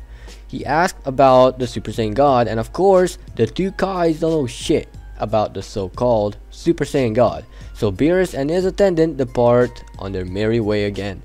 Next up is Kaio-sama, and after destroying a few more planets, they arrive on his little planet, asking for the, you guessed it, the Super Saiyan God. No one knows of the legend and tells about it in as much detail as possible. Beerus then says that there are a few Saiyans on Mars and Earth, and that he's gonna pay them a visit. King Kai instantly regrets saying that to the destroyer, and he wants to protect them after all they have done to save and protect the universe. Beerus then devours a few more planets cause he didn't like the food and then heads to Mars. When he arrived, he saw a whole lot of Saiyans, and that made him vomit of course. He knew that Saiyans here weren't as powerful compared to what he dreamt of, so he went to see if they can do something against him. He started ki blasting shit all around him, alerting quite a handful of Saiyans actually. Back on Earth, Vegeta sensed the distress and went to see what's going on. He instant transmissions there and sees a weird cat. He has a memory in the back of his head, but can't quite put the pieces from where. Beerus then did his paralysis thing on Vegeta, and Vegeta remembered that exact time and location when and where it happened. The previous king, Vegeta, exits out this castle and immediately regrets going out and looking on what and or who created all the hassle and carnage. Beerus sees old Vegeta and goes to greet him, and Vegeta is automatically backing the hell away from the destroyer. Vegeta says to stop the stuff and asks what the actual hell he's doing here. Beerus replies with what exactly he's looking for, which is the Super Saiyan God. He also says he can't find him anywhere. Vegeta then thinks about it, cause it's a damn urgency, and remembers the Dragon Balls. Vegeta shouts to stop and pleads with him, saying he can get him the Super Saiyan God so he can fight him. Beerus complies and lets Vegeta do his thing. Vegeta tells him to come if he wants, he then goes to Earth with Beerus in tow. He then goes to Capsule Corp and asks Bulma for the Dragon Balls. He gets to the machine and summons Shenron. He then wishes for the Super Saiyan God to arrive at their location. But it's impossible, even though Shenron's power is increased due to the machine that makes it possible. But he does explain everything about the ritual and how it's actually possible. Vegeta takes every piece of information and listens on carefully. After Shenron disappears, Vegeta powers up to alert the rest of the Saiyans, and boy do they come. Vegeta then tells them the too Long didn't read to them, and they agree to help. Vegeta is of course the strongest one, and they choose him. Having said that, 5 righteous Saiyans join hands and pour their energy into one Saiyan. At first nothing is happening, but then a light show appears as the Saiyans are embedded in white and yellow light. Seasons are changing left and right and whatnot, but at the very end, the red aura appears around Vegeta as he's finally became a Super Saiyan God himself, and is fully alert and ready to take on Beerus. With that, the fight is taken to the air and is initiated. The fight starts just like with Goku in the original, with Vegeta adapting to his newfound powers as he never used a such a powerful form before. Beerus is folding his ass of course, but Vegeta starts getting the hang of it and rapidly increases in strength, catching Beerus off guard and landing quite a few punches on his body, giving him a bruise or two even. Everything is going according to plan until Beerus powers up, exerting more energy and attacking back. Vegeta is trying to keep his composure up and goes into defensive.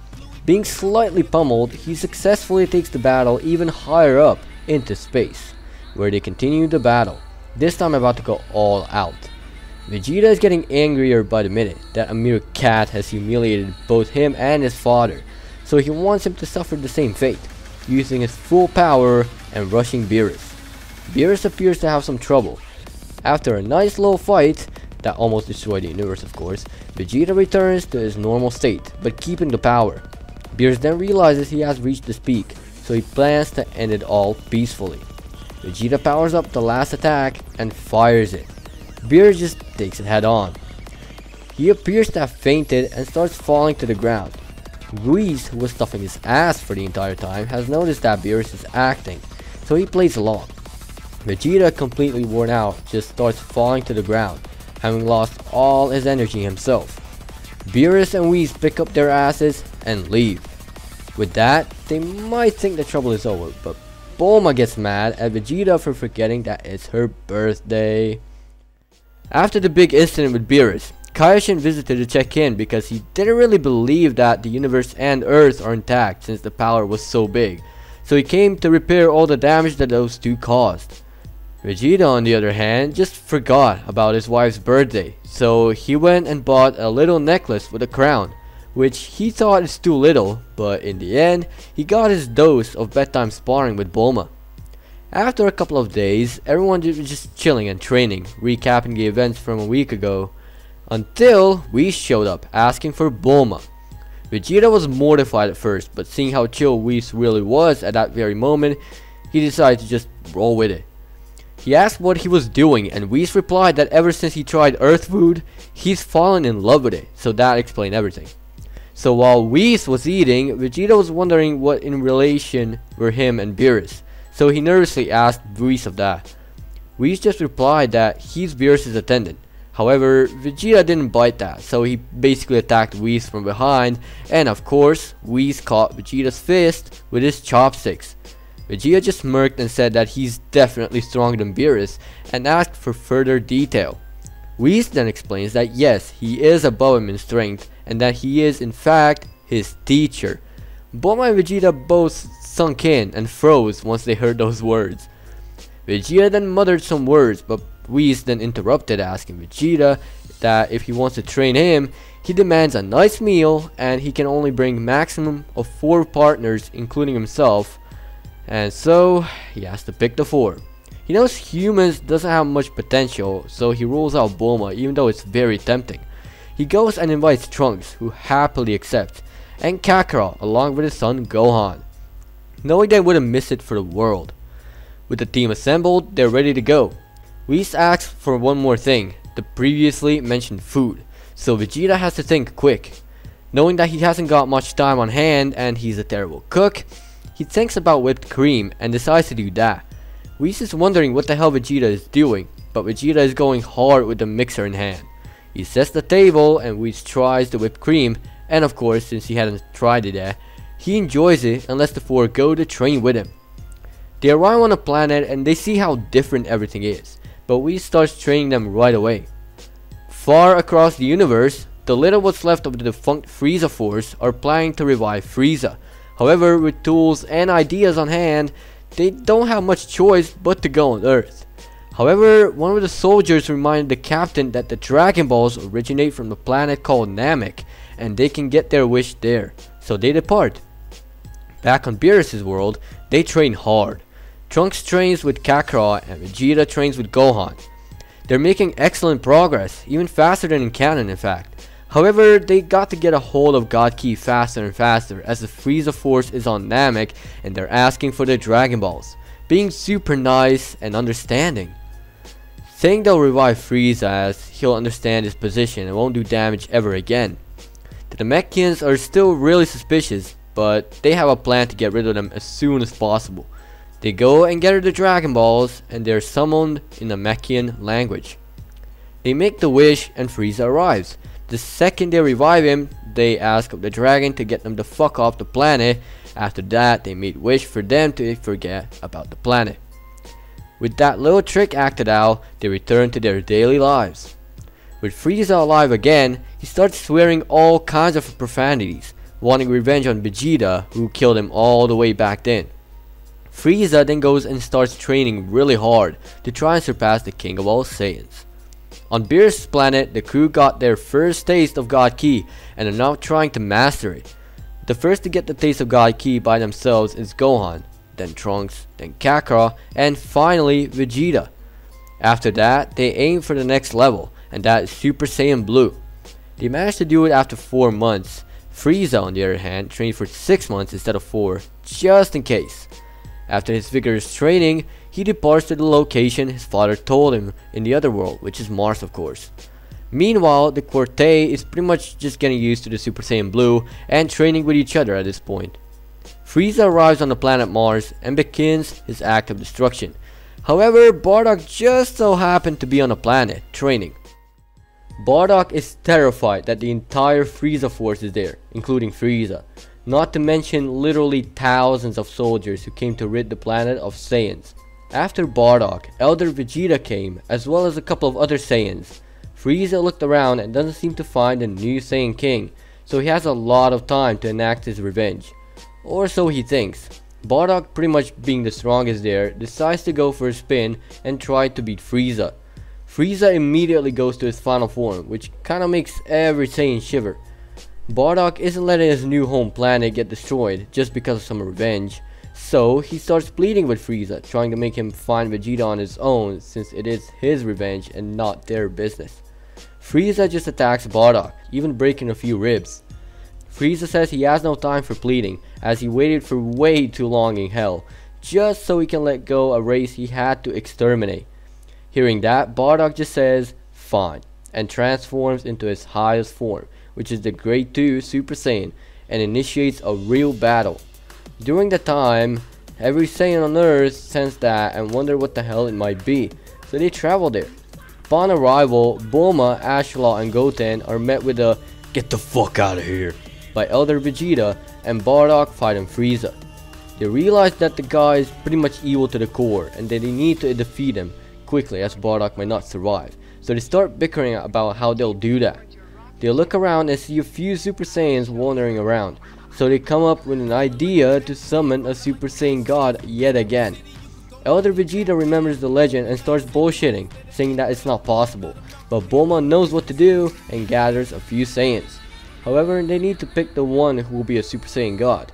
After all the bickering, they decided Ashala is the best bet at victory. However, Goten steps in, thinking logically, saying she might not withstand the power and that he should be the one as he can go above Super Saiyan. So they then decide that Goten should be the one. With that, Bulma instructs the Saiyans on what to do and they begin the ritual. The ritual starts and of course Frieza notices, so he tries to rush them, but Bardock gets in the way, claiming that he is the one who is fighting now. The ritual is going well and after the ritual, Goten becomes a Super Saiyan God. Goten then flies up to his grandfather and takes over the fight. Bardock just falls out of his Super Saiyan and then on the ground due to exhaustion. With Super Saiyan God Goten and Frieza initiating the battle, it's clear Goten is dominating. However, not for long as Frieza starts transforming himself.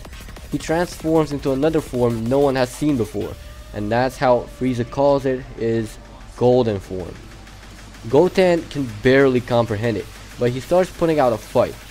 Meanwhile on Beerus' world, Whis interrupts the squad's training, saying that there's an enemy on Mars and they won't believe who it is. Once Vegeta sees Frieza and Super Saiyan God Goten fighting, he instantly cowers a little and asks to be taken there. Whis says that it will take a while, but he will try as fast as he could. With that, they depart towards Mars. On Mars, Goten is trying to get a hold of a fight. However, he is struggling as his power isn't as powerful as he thought it would be. But he didn't know of the golden form of Frieza at all, so it really isn't his fault. Knowing he might lose, he is starting to think of a way to gather more energy. He's running out of ideas and energy, while the squad is running towards Mars to save Goten's damn life. The Saiyans, including Bulma, are trying to think fast as to what they have to do to give Goten some help with the Tyrant. Just then, the Tyrant is starting to lose energy fast and he starts getting weaker, while Goten is getting more and more triggered. Although Frieza is losing energy, he can still keep up and probably will for quite some time. Frieza then uses the spare time he has between attacks to start tearing down Mars, and boy does he tear it away. He's just destroying everything he sees, and of course Goten is getting angrier by the minute. Frieza then says it's enough, and just one-taps Goten with a few tricks of his own. Goten is now in some sort of a limbo, thinking to himself as to how powerful the tyrant is and starts blaming himself for the last tournament and how his brother always took the victory. That was the breaking point for Goten as he started screaming bloody murder as the area around him is surrounded with very bright and blue light. Goten has finally found a barrier that Super Saiyan God held and surpassed it using rage. He got up and went to face Frieza. In the distance, Bulma sees the same blue light from space. Taking a closer look, she sees the squad who left a year ago. We then see Beerus, Whis, and along with Kakarot, Gohan, Vegeta, and Trunks. Kakarot sees Goten and, in his Super Saiyan Blue, goes to him and taking over the fight. Goten is still full of rage and disobeying his father. However, he will realize that's not a good idea as his body can't handle it and he starts literally bloating up. He then listens and goes back to base with steam around him. With that, Goten faints and Kakarot looks at Frieza. Vegeta also joins in saying that it's his fault he didn't pay attention to what Frieza's men were doing so he decided that it's his turn. However, Kakarot said that they all deserve a turn to test their new strength, and so Vegeta obliges. An intense stare down is going at it, both warriors wondering who is the other guy, but they decide to fight it out since Kakarot has to protect his people.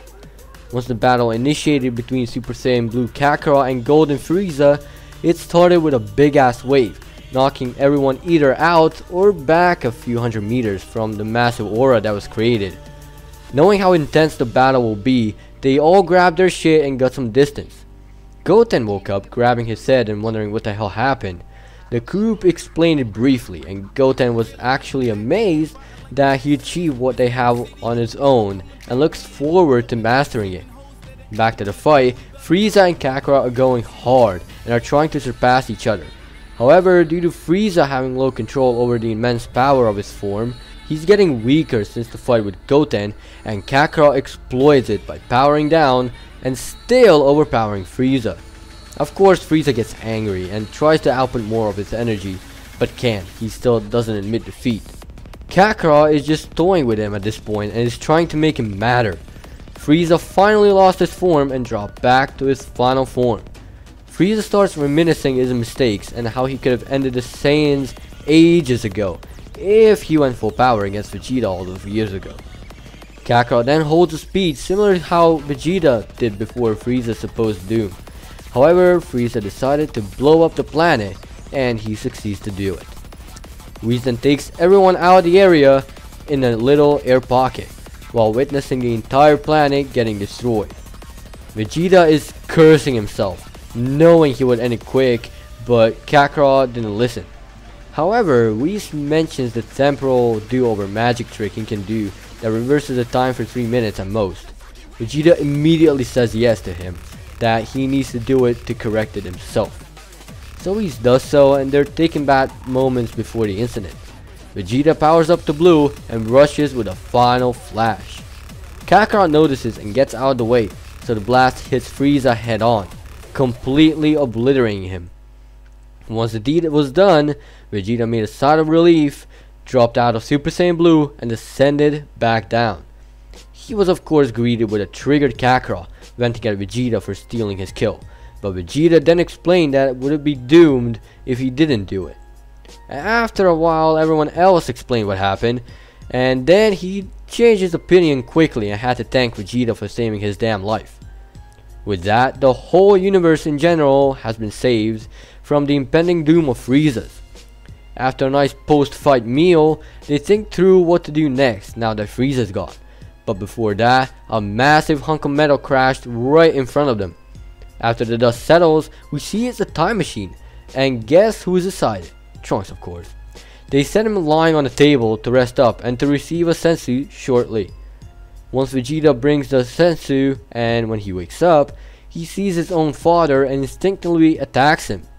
Vegeta blocks it easily and asks what's wrong, before Bulma slaps him across the head, proving he's in the right timeline.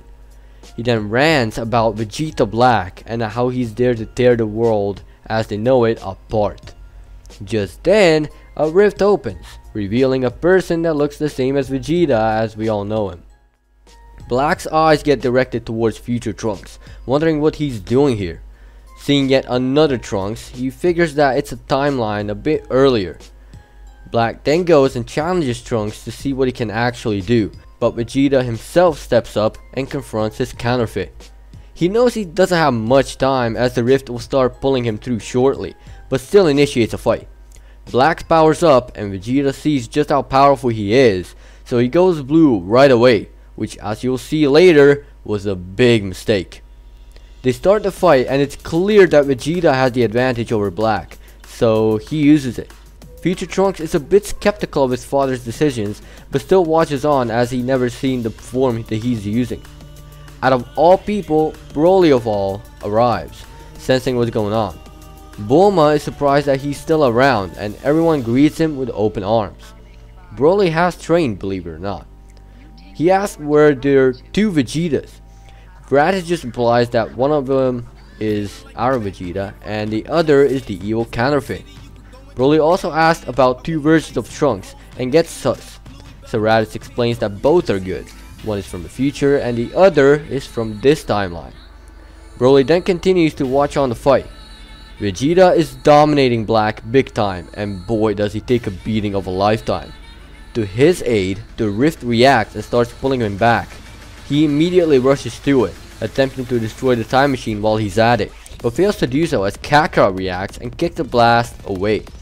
Once Black was gone, they have all turned to Trunks with stern looks, wondering how he didn't beat such a weak opponent. Trunks explained further how Black can get stronger with every hit he takes, how he destroyed almost every living being on the planet, and he has a suspicion he might have a sideman.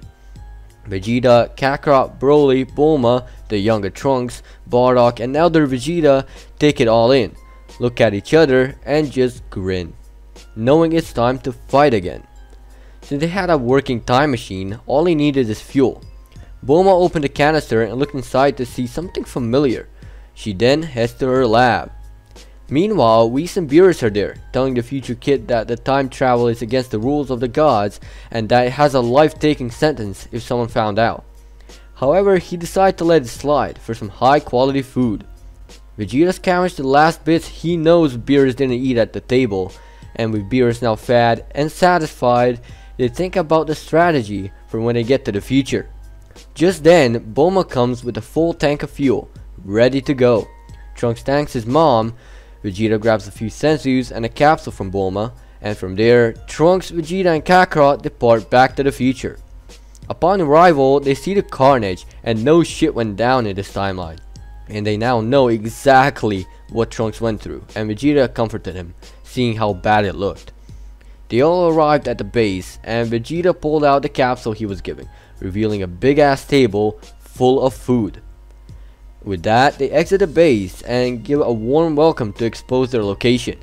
Black automatically appears right above them and looks upon them. Kakarot, feeling a bit cocky, decides to go take on Black first to see if Trunks' theories are true. So he turns blue and rushes Black. At first he's doing good, until he gets stabbed right in the chest, dropping out of Super Saiyan Blue and falling on the ground. Black then went ahead and displayed something he has got transforming into Super Saiyan Rose, and it took a while for everyone present to actually comprehend what they're seeing. Now when they actually comprehended it, Vegeta goes blue and rushes black, trying to claim his point, but he gets put down too. Trunks has had enough and goes to distract Black, telling the two to return back and get buffed up to finally beat Black once and for all. They do so with their pride hurt pretty badly. Upon return to the normal timeline, they immediately heal up, and without saying a word to anyone, except Broly who they drag along, they go into the time chamber. Kami says he removed the limitation from the chamber, so they can go in anytime they want. They thank him and they get in the chamber. In the chamber they train hard, all trying to surpass each other. Broly unlocked the legendary Super Saiyan for the first time and has mastered it. Vegeta and Kakarot have both got a taste of Super Saiyan Blue evolution and they're mastering it too. Along with a lot of physical training, it took them a total of 2 years in there and once they exit, Beerus notices an insane change in power. They then get to the machine, not saying a word, and go back to the future, where Trunks is still trying to hold on in the Super Saiyan 5. Seeing the trio come, he gets distracted a little and gets his ass kicked in an instant by Black and someone that's beside him. Vegeta recognizes him as a Supreme Kai and questions him. It turns out it's Zamasu, and he has the same ideology for mortals and how all mortals should be destroyed. Vegeta, getting impatient, just appears in front of Black and gut punches him hard enough he spits out a whole lot of blood. Kakarot takes on Zamasu, seeing no other alternative, and Broly follows of course. Zamasu is trying hard to get through them to help Black, but having two people on him, it's gonna be quite hard to pull off a stunt he made up. Vegeta is just literally handing Black his ass, just straight up dominating him. Black gets into a corner as he almost lost all of his strength to continue, having all these injuries. Vegeta charged up his Galick gun and obliterated Black, while the two on the other side were having trouble seeing the immortal Zamasu. Seeing an earring on the ground, Vegeta picks it up and tosses it to Broly, while he goes and instant transmissions to Zamasu and stealing his earring. Vegeta then commands Broly to put the earring on as he has something to try out. Broly does that and so does Vegeta. The earrings react and the two fuse. Zamasu is about to shit himself as Broly comes out of the light, already in a blue state with hints of fur on his body, charging up a double final flash and throwing it at Zamasu. Zamasu is trying to regenerate, but fails as his body gets disintegrated. However, Broly knows it's not over, as he's right as Zamasu takes over the universe. Broly has a second weapon, the Hakai. Zamasu's soul starts disappearing from existence and the sky gets much clearer and sunnier. Broly then unfuses and the two start panting because they used such a powerful move on Zamasu. With that, they let Trunks clean up, but to take them back first. With that, the timeline has been saved yet again, but nothing lasts forever. After they got back to the future, they notified Beerus and Whis that a Supreme Kai was helping Black and how he needs to be surveyed to see if he does any damage. So with that intel, they ask for the name.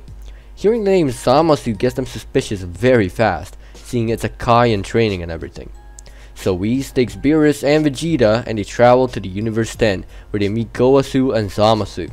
Vegeta gets a first glimpse of a different universe environment and gods. He sees Zamasu and gets a little mad, but Beerus keeps him in check. Zamasu introduces himself and Vegeta is not happy about him still being alive and wants to end it fast. Gowasu says how Zamasu is the strongest Kai in the entire multiverse. Vegeta, taken aback by the statement, asks Zamasu to fight him to test out that theory. Zamasu is reluctant, but with Gowasu and his arguing with the Kai, Zamasu finally bites the bait. Whis knows this might not end quickly, but still allows it. Vegeta initiates a battle, and it's clear he's stronger than the Supreme Kai in training, even without the power-ups. Zamasu gets a clearer picture of the mortals and swears he will rid of the multiverse from mortals. Whis stops the fight and asks for the time rings, knowing it might have created a new change in time. Gowasu goes to get the time rings, and Zamasu is just confused as to what the time rings are. Gowasu opens the chest and sees a new time ring, indicating a new point in time. Gowasu starts to suspect Whis, Beerus, and Vegeta, thinking they might know something about and asks them of it. While Whis and Beerus are hiding it, Vegeta spits it out in front of everyone. Listen, Kai, we know of your plans to destroy mortals. I've seen with my own eyes. I had to defeat a counterfeit you from the future, as well as another me who literally had my body. Stop being a goody two shoes and tell your master how you feel. Zamasu is just speechless and doesn't know that mortals can tamper with time on their own, so he makes that his counter argument. But Vegeta backs himself up, saying that he started it, not himself, and that if he hates mortals so much, might as well become one to see how it feels like again. Vegeta then pulls out his hand to do a move Beerus recognizes is his own Hakai technique, swallowing a bit of fear as well. Zamasu then attacks Vegeta, but Vegeta has no remorse and Hakai Zamasu. Since the future version of Zamasu was absolute and immortal, ending the current Zamasu was a piece of cake for him. Once Zamasu disappeared, Beerus steps in, bonks Vegeta's head, and berates him for destroying a god without proof. But Vegeta just simply mentions the new addition to the time ring chest, and they seem to have calmed down. With that, they leave the universe and return home. A week or so has passed, and Vegeta has some family time with Bulma, Trunks, and Axolot. Bulma announces Trunks will become a new president of Capsule Corp, and they seem happy to have finally made some family progress. Axolot is very happy for her older sibling, and hopes that she can become a president in the future herself. That might have to be postponed as Daishinkan arrives in Capsule Corp, appearing right in front of Vegeta and his family. He says he was notified of the events from this and the future timelines, and asked to speak to Vegeta as soon as possible. Vegeta cowers in fear and doesn't know how to reply. Before muttering a sound, Daishinkan disappears as he came. Vegeta knows he fucked up good and that he's done for. Just then, Whis, Beerus, Kakarot, Broly, and Gowasu enter the house, worried and asking Vegeta if he's fine. Vegeta just replies that he is and asks why Daishinkan needs him. They say that he found out about the events that happened in the other timeline, and he's either gonna get destroyed or jailed for life, depending how he feels like. Vegeta swallows his fear and thinking of the worst, goes and asks for transport to Daishinkan's place. Gowasu takes them all to Zeno's palace and Daishinkan greets them with open arms. Vegeta is scared shitless for the first time in his life as his pride is tearing away, knowing something bad is gonna happen. Once they arrive to the place, Zeno, his attendants, and Daishinkan are there. Vegeta is seated and they began discussion as to what should happen to him. Daishinkan says, You are introduced to the ultimate price of tampering with time by Beerus. He let it happen. Since you saved your universe and even other universes too, you will be let go. But from what I surveyed, your wife, or rather a future version of your wife, has created a machine that makes the time travel possible. Do so, you will not be destroyed, but your wife and all her research will, as she's too much of a risk for the entire universe. What the? Are we clear? Uh, I'll do anything if you spare her life. Please, sire. You don't understand the situation. Us gods do not bargain. We have the final say. If so, then how about I decide my wife's fate by becoming a god myself? I see. You want to serve a universe, right? Becoming a destroyer is difficult, but due to your status, you'll have no problems. Please, give us one last chance.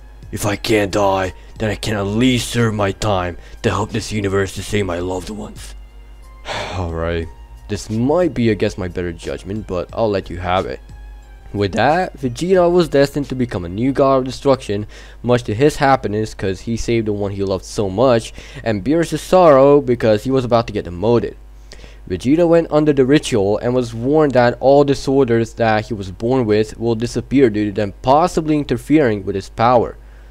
Not knowing what that meant, he just told them to go for it, and they did. Vegeta went under a transformation.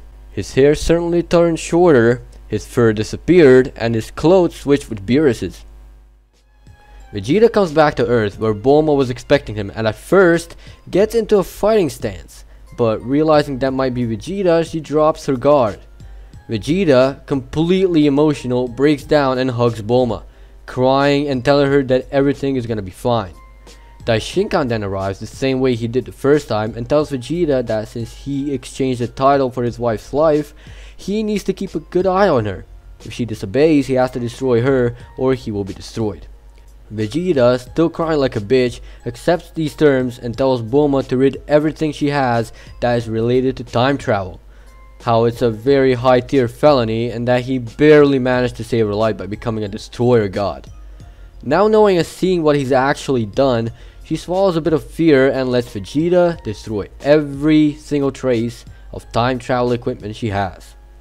Vegeta does so with the presence of Daishinkan, and with Daishinkan happy, lets the two go. With Bulma now alive and well, Vegeta, Bulma, Ashla, and Trunks all end up in a group hug, with Vegeta still crying, however for a good reason. He saved the one he loved. Kakarot also arrives and sees Vegeta in the embarrassing act, but Vegeta couldn't care less. Vegeta explains everything to Kakarot, also spilling the multiple universe stuff to him. Kakarot asks if there's anyone in the universe that is actually strong, and Vegeta says yes. Kakarot takes it quite Saiyanish like, saying that he'd love to fight someone, since he literally has nothing to do, so he asks to do a tournament between all universes. Vegeta can't back down from a challenge, but doesn't know how he'll explain it to the Omni King and Daishinkan. So he thinks of a strategy for the right words to say to them. He knows that Shinkan will bend the rules since he's literally on his watch. So with a script to hold on to, he goes to Zeno's place and asks if he can arrange something for the upcoming future. Daishinkan actually thinks through it and says that they can arrange something for the incoming days, and if it ever happens, he'll notify all the universes of it. In the meantime, Broly has visited Vegeta and Bulma at Capsule Corp, thinking how peaceful it has been. Vegeta and Bulma just look at each other and then tell the tale to Broly, who is dumbfounded and asks how did it come to it, before realizing that it was the time travel that created the trouble. Now knowing how dangerous the upper divine beings can be, he takes extra precaution to follow their orders. Just then, Daishinkan arrives, saying that he has come to discuss the matter Vegeta asked before. Vegeta says to continue and Daishinkan elaborates, saying that they created an event just like he hopefully envisioned called the Tournament of Power. He then goes on to explain the rules. All the universes in the known cosmos will participate in the tournament, and there is a grand prize, the Super Dragon Balls, and they take interest in them. However, Daishinkan isn't done just yet. He goes on to explain how the eliminated universes will get erased from existence by Zeno, confusing everyone and forcing Broly to ask to elaborate, and Daishinkan does, saying that the losing universes will basically get destroyed. Yeah, that made everyone start sweating bullets, knowing they have to fight for something other than fun. Daishinkan says to gather the fighters within 50 hours in Earth time, and once they did, they will be transmitted to the arena. Kakarot, obviously confused and scared of Daishinkan's appearance, asks what's up, and Shinkan basically recaps what he said just a moment ago. Kakarot sinks in, and Vegeta berates him for bringing up such a stupid idea, and Kakarot didn't mean it to end up like this. But since he brought them into this mount of shit, he has to do his work. But there's only one problem. Vegeta cannot participate because he is a destroyer, which Vegeta calls his total BS, but since he can't do anything and he has his own divine rules to follow, he follows them. With that, Daishinkan concludes the tournament announcement and leaves just like he came. They're now discussing who they should add. Kakarot, Broly, Bulma, Ashalot, and Trunks are already there, so they're adding Gohan and Goten in, totaling in 7. Bulma gets an idea and goes to grab the Dragon Balls, without telling anyone what her wish is gonna be. They also add Bardock to the game, maxing it at 8. And they remember Fasha and Vegeta also remembers Piccolo out of the blue, thinking he might help them with their cause. Vegeta then tries to find Piccolo's ki and realizes that he's on Mars, making it even easier to recruit both Fasha and Piccolo. He instant transmissions to Piccolo, seeing him training under high gravity, and Piccolo senses him of course. Piccolo asks how did he find him, but Vegeta has questions of his own, asking Piccolo to join him. Piccolo rejects, but Vegeta still elaborates, saying that the universe might be at stake and starts berating him for not caring for his life. Piccolo gets triggered by that and asks for the price, since he aims for that the most for some goddamn reason. And Vegeta says that there is something called Super Dragon Balls and how if they win, they can grant literally anything in the entire cosmos. And Piccolo agrees for this reason only. So with that, he decides to take him to Earth and he obliges.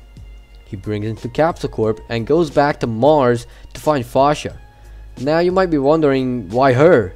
Well, she's been on the planet for the entire time, getting stronger and stronger to the point where she's ready for Super Saiyan 3 even. Vegeta visits her in another gravity chamber and says hi, then makes a proposition and also tells her not to tell anyone. Fasha agrees, saying that anything they throw at her, she's ready for it. Back on Earth, Bulma summons Shenron and she wishes for one thing. To become a Saiyan so she can actually become Super Saiyan without any artificial help. Shenron grants that wish and Bulma becomes a Saiyan, getting much younger but keeping her appearance. With that, the team of 10 fighters is assembled and now they wait and do some last minute training in a time chamber.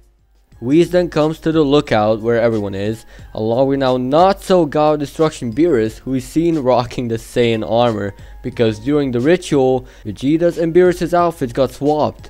Whis thinks for a brief second and suggests how instead of using a weak Namekian, since Beerus isn't a god anymore, he can join in. Beerus, being scared for his universe of course, after being told of the tournament, goes and takes Piccolo's place. But Piccolo isn't letting this spot go saying that he needs his Super Dragon Balls and how nothing is gonna stop him in his tracks. Beerus knows the Hakai and slowly lifts his hand and threatens to destroy him. Beerus knows of his past and isn't letting him get in his way of fighting for his universe, seeing Beerus properly protecting it for the first time. Kakarot, Ocelot, Goten, Broly, and Bardock exit the chamber and see that there's some beef going on. Piccolo was about to swing, but Kakarot got in between, taking the punch without budging a bit, warning him that if he doesn't get his shit together, he will get destroyed. Getting scared for his life, he backs away. Whis thinks of an easy fix to replace Fasha, but she transforms into a Super Saiyan 2, surprising anyone and making Beerus go instead of Piccolo. Piccolo gets mad and attacks Beerus. No one reacts this time, Beerus just dashes under him and punches through his torso and leaving him on the ground. Kami knows what's about to happen and as he was about to spout out something, he collapsed. Vegeta dashed over in confusion and worry as he saw Kami pass away right before his eyes in the same time as Piccolo. Kakarot said in complete lack of emotion that if he's an Namekian, that his death isn't as important because he's not an Earthling. But Vegeta reminds him that he created the Dragon Balls, and without him, those balls are just regular old stone. Kakarot then explains that there's a planet Namek, and all he needs to do is to instant transmission there and recruit another one. Vegeta does so and returns with Dende, a new guardian of Earth. With a few hours left to spare, they reanimate the Dragon Balls and amplify them the natural way, by giving them three wishes. Once they did that, they were transported to the Null Realm. Upon arrival, they sensed some rather strange life forms and wondered what's going on with them. All of a sudden, they noticed a very high power level coming from Universe 10. Seeing Jiren got them quite scared, but focused. Beerus suggested he takes on Jiren, being the most powerful. Kakarot also wants to fight him to see how strong he is of course. Daishinkan announces the tournament and they begin. Vegeta is just disappointed he doesn't get to participate, and he really like to, but rules are rules and he has to obey. The group, even though they're advised by Whis and Shin not to split up, they split up regardless. Vegeta is actually happy they didn't stick together as bitches and cheers them on while other universes talk shit to him. Vegeta just says how Saiyans don't fight for others, they fight for themselves, if they have a problem, they can freely suck his dick and that shut everyone up. Daishinkan envies Vegeta's race, how they have so much pride in themselves, but that's for their own good. Kakarot takes on the Love Freaks from Universe 2. His father takes on the Trio of Danger, Goten and Ocelot are in a group and are fighting Anilaza, a fusion of Paparoni and Koisareda from Universe 3, and the rest are on their own, fighting random participants with an exception of Gohan and Trunks being together, fucking around. Beerus gets the first couple of kills, and Daishinkan says how there's no surprise, being one of the strongest destroyers. Well, been at the very least. Kakarot also gets a few eliminations, and so does everyone. The fighter count has dropped from 80 to 35 in the first 10 minutes since this tournament started. Vegeta is just looking on his fellow Saiyans and admiring their fire techniques. Even Beerus has a few of his own. Beerus, once done with the weak ones, goes on to take Jiren. However, Toppo and Dispo are in the way and fighting off the lone X-Destroyer.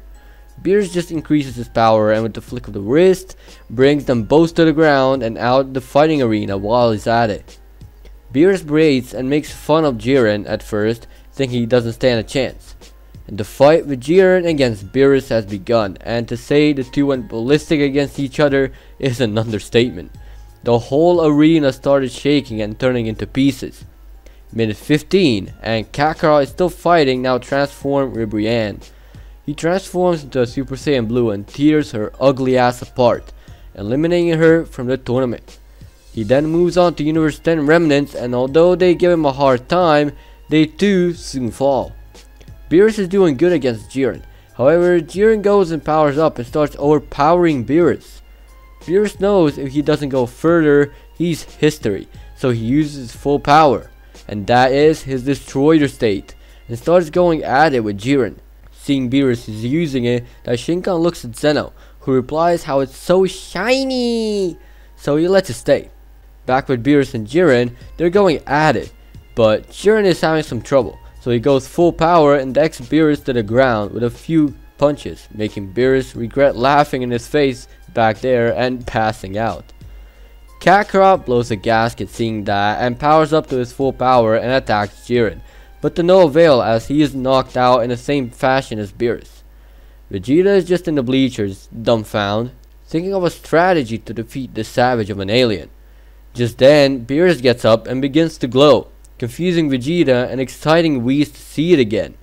Beerus opens his eyes and unleashes his aura to see him transform into autonomous Ultra Instinct. He starts powering up, making Jiren sweat a little. Kakarot also explodes with a bright light, getting an omen himself. Jiren is now really scared and starts attacking Beerus, but Beerus is dodging it like nothing. He tries the same on Kakarot and Kakarot also seems to dodge every blow that was thrown at him.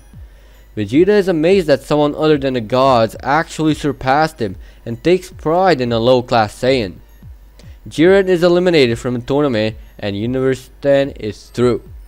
With the rest also defeated, Universe 7 is victorious, and the winner is chosen to be Goten of all people, since he eliminated the greatest amount of them all, with Beerus being second. Goten is already making a wish for himself, that is to make him above Zeno due to his childish nature. Thinking through it, he realizes that they'll remain as the only universe, so he leaves the above Zeno thing for another time and decides to return all destroyed universes and people back, so he can actually rule over something. Daishinkan only said that the first wish would have been very bad, because if he wished for that, his universe would be destroyed too, making Goten's blood run cold and realizing that this was a real deal. Daishinkan then went and restored everything back to normal using the Super Dragon Balls. With everything back to as it used to be, they returned home, waiting on the next foe to take them on. After the tournament, it has been very peaceful for a long time and everyone went back to their training. Beerus finally understood how to transform into Ultra Instinct and even better, master it. After a long, long time of being unable to do so, he got a chance to study it while he's in it and managed to make it his own. Kakarot, on the other hand, is still wondering what it might be and asks Whis of it. Whis simply replies that it's a technique which separates the mind from the body, of a user of course. Kakarot asks to be trained to use it at will, and so does Vegeta. Beerus is still weirded out by Vegeta's new appearance and brings it up, and now that he has mentioned it, everyone else does. Vegeta explains how, during the ritual, he was told that any disorders he might have had will be nullified to make him as effective as possible, but he thought when he lost to Super Saiyan 4 he will lose power, but instead he maintained it. Think of it like a non-god Super Saiyan God base boost. Now that they settled it, they can move on with their life. After about a year or so, they get a visit by the Galactic Patrol. They say how a very evil wizard, more powerful than Babidi, has risen to claim dominance over the entire universe, and maybe even beyond. Vegeta, making his home planet be Mars, senses something on Earth and goes there to see what's up. Once there, he eavesdrops on the conversation and then joins in, telling them he can take him on by himself. Seeing a destroyer, they bow down and worship him, being weirded out by it and just telling them to elaborate. They say the name is Moro and he has escaped the galactic prison and is now setting course for Namek. So Vegeta says he'll pay him a visit then, instant transmissioning to Namek. Once he arrived, the Namekians greeted him. However, he went straight to the point that Moro is coming to their planet, scaring everyone out of their boots. They say that he's really strong according to their book of legends and that he has been imprisoned when a legendary god defeated him. Vegeta just says that it will be over soon as he never backs down from a challenge and since he is a god of destruction, he will end him quick when he chooses to. He also promises he will try not to hurt the planet too much and they agree to make Namek the battle playground. Just then, Moro arrives on the planet, Seeing Vegeta there made him regret coming there, but knows that if he uses his powers properly, he will win. Vegeta breaks the silence. Well, well, well. If it isn't Moro the magician, are you gonna pull out rabbits out of the hat or fight? You dare speaking to me like that? Guessing can't be helped, just as much as your hairline. This hairline will tear you apart. Once I finish playing with you. With that, the fight begins with Vegeta using his full power from base right from the start, and he seems to be holding an edge. Moro is starting to steal his energy, receiving destroyer energy along with it, and begins using it to his advantage by throwing it at Vegeta. Vegeta swiftly dodges it. Just then, he notices that he's getting weaker, so he tells Moro that if he wants a fair fight, he needs to give up trying to drain his energy. Moro agrees, by taking the planet's energy for himself instead of Vegeta's, Vegeta realizes that the Namekians are getting weaker by the minute as Moro is getting stronger. Vegeta then pulls out his Super Saiyan 4 fused with Super Saiyan Blue and starts pounding Moro into oblivion. Moro is running out of energy faster than he can gather it, and Vegeta doesn't have enough pity to care anymore and continues the pounding. Moro then starts to cheat again by taking Vegeta's energy again, and of course Vegeta notices it but doesn't say a thing as he continues the onslaught on Moro. Vegeta then stops and tells Moro the following. I don't know if you noticed it, but never in my life did I have to use my full power against someone. Would you like to be my first victim? What are you trying to say? I'm way out of your league, Moro. It's a real shame. If you weren't a cheater in combat, I'd mess around with you a little bit more. All matters aside, there's a form I've been working on for quite some time. Now that I figured out a way to deal with, might as well. I only ever used it once, in a time chamber. Want to see what a real Saiyan is capable of? Vegeta then starts transforming. His power is multiplying on itself every second, and if you could see the expression on Moro's face in the what if, it's beyond scared shitless. Vegeta then explodes in a violent flash of purple light. As the dust settles, Moro witnesses a power never seen before. Vegeta looks like his old self, just like a Super Saiyan 4, but with purple fur and black eyeliner and pupils. Vegeta has finally surpassed the Saiyan prophecy as he becomes a primal god. This transformation combines the multipliers of all his forms into one, creating a giant multiplier. Vegeta then raises his hand and says an iconic line. Hakai! Moro then starts disappearing from existence then and there. With Moro now gone, the Namekians congratulate him on the victory, saying that he just backed up his bravado they thought was fake. Vegeta just smirks and tells them not to underestimate him. It's been about a week since the fight with Moro. Whis and Vegeta are in the outskirts of a city, training. Vegeta then senses a very high power level that's bigger than both Whis and him. Vegeta then senses a very high power level that's bigger than both him and Whis combined, coming their way. So Vegeta goes to investigate. He sees someone with his iconic hair and in a spandex. So, I take you're Vegeta of course. Who the hell are you? I'm Vegeta T23. I have a little proposition for you. How about a multiversal tournament? Many Vegetas are down. How about you? A tournament? Yeah. If you had a tournament of power, it has the same rules, but instead of fighting individuals from your multiverse, you'll be fighting other versions of you from various multiverses. Sounds fun, don't you think?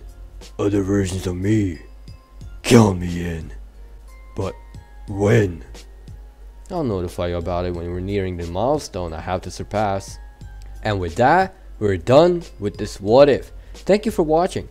If you believe you know what I'm about to do in the near future, then click dislike. But if you like the video, hit that like button. If you'd like me to cover your idea in the near future, comment down below. And as always, peace out.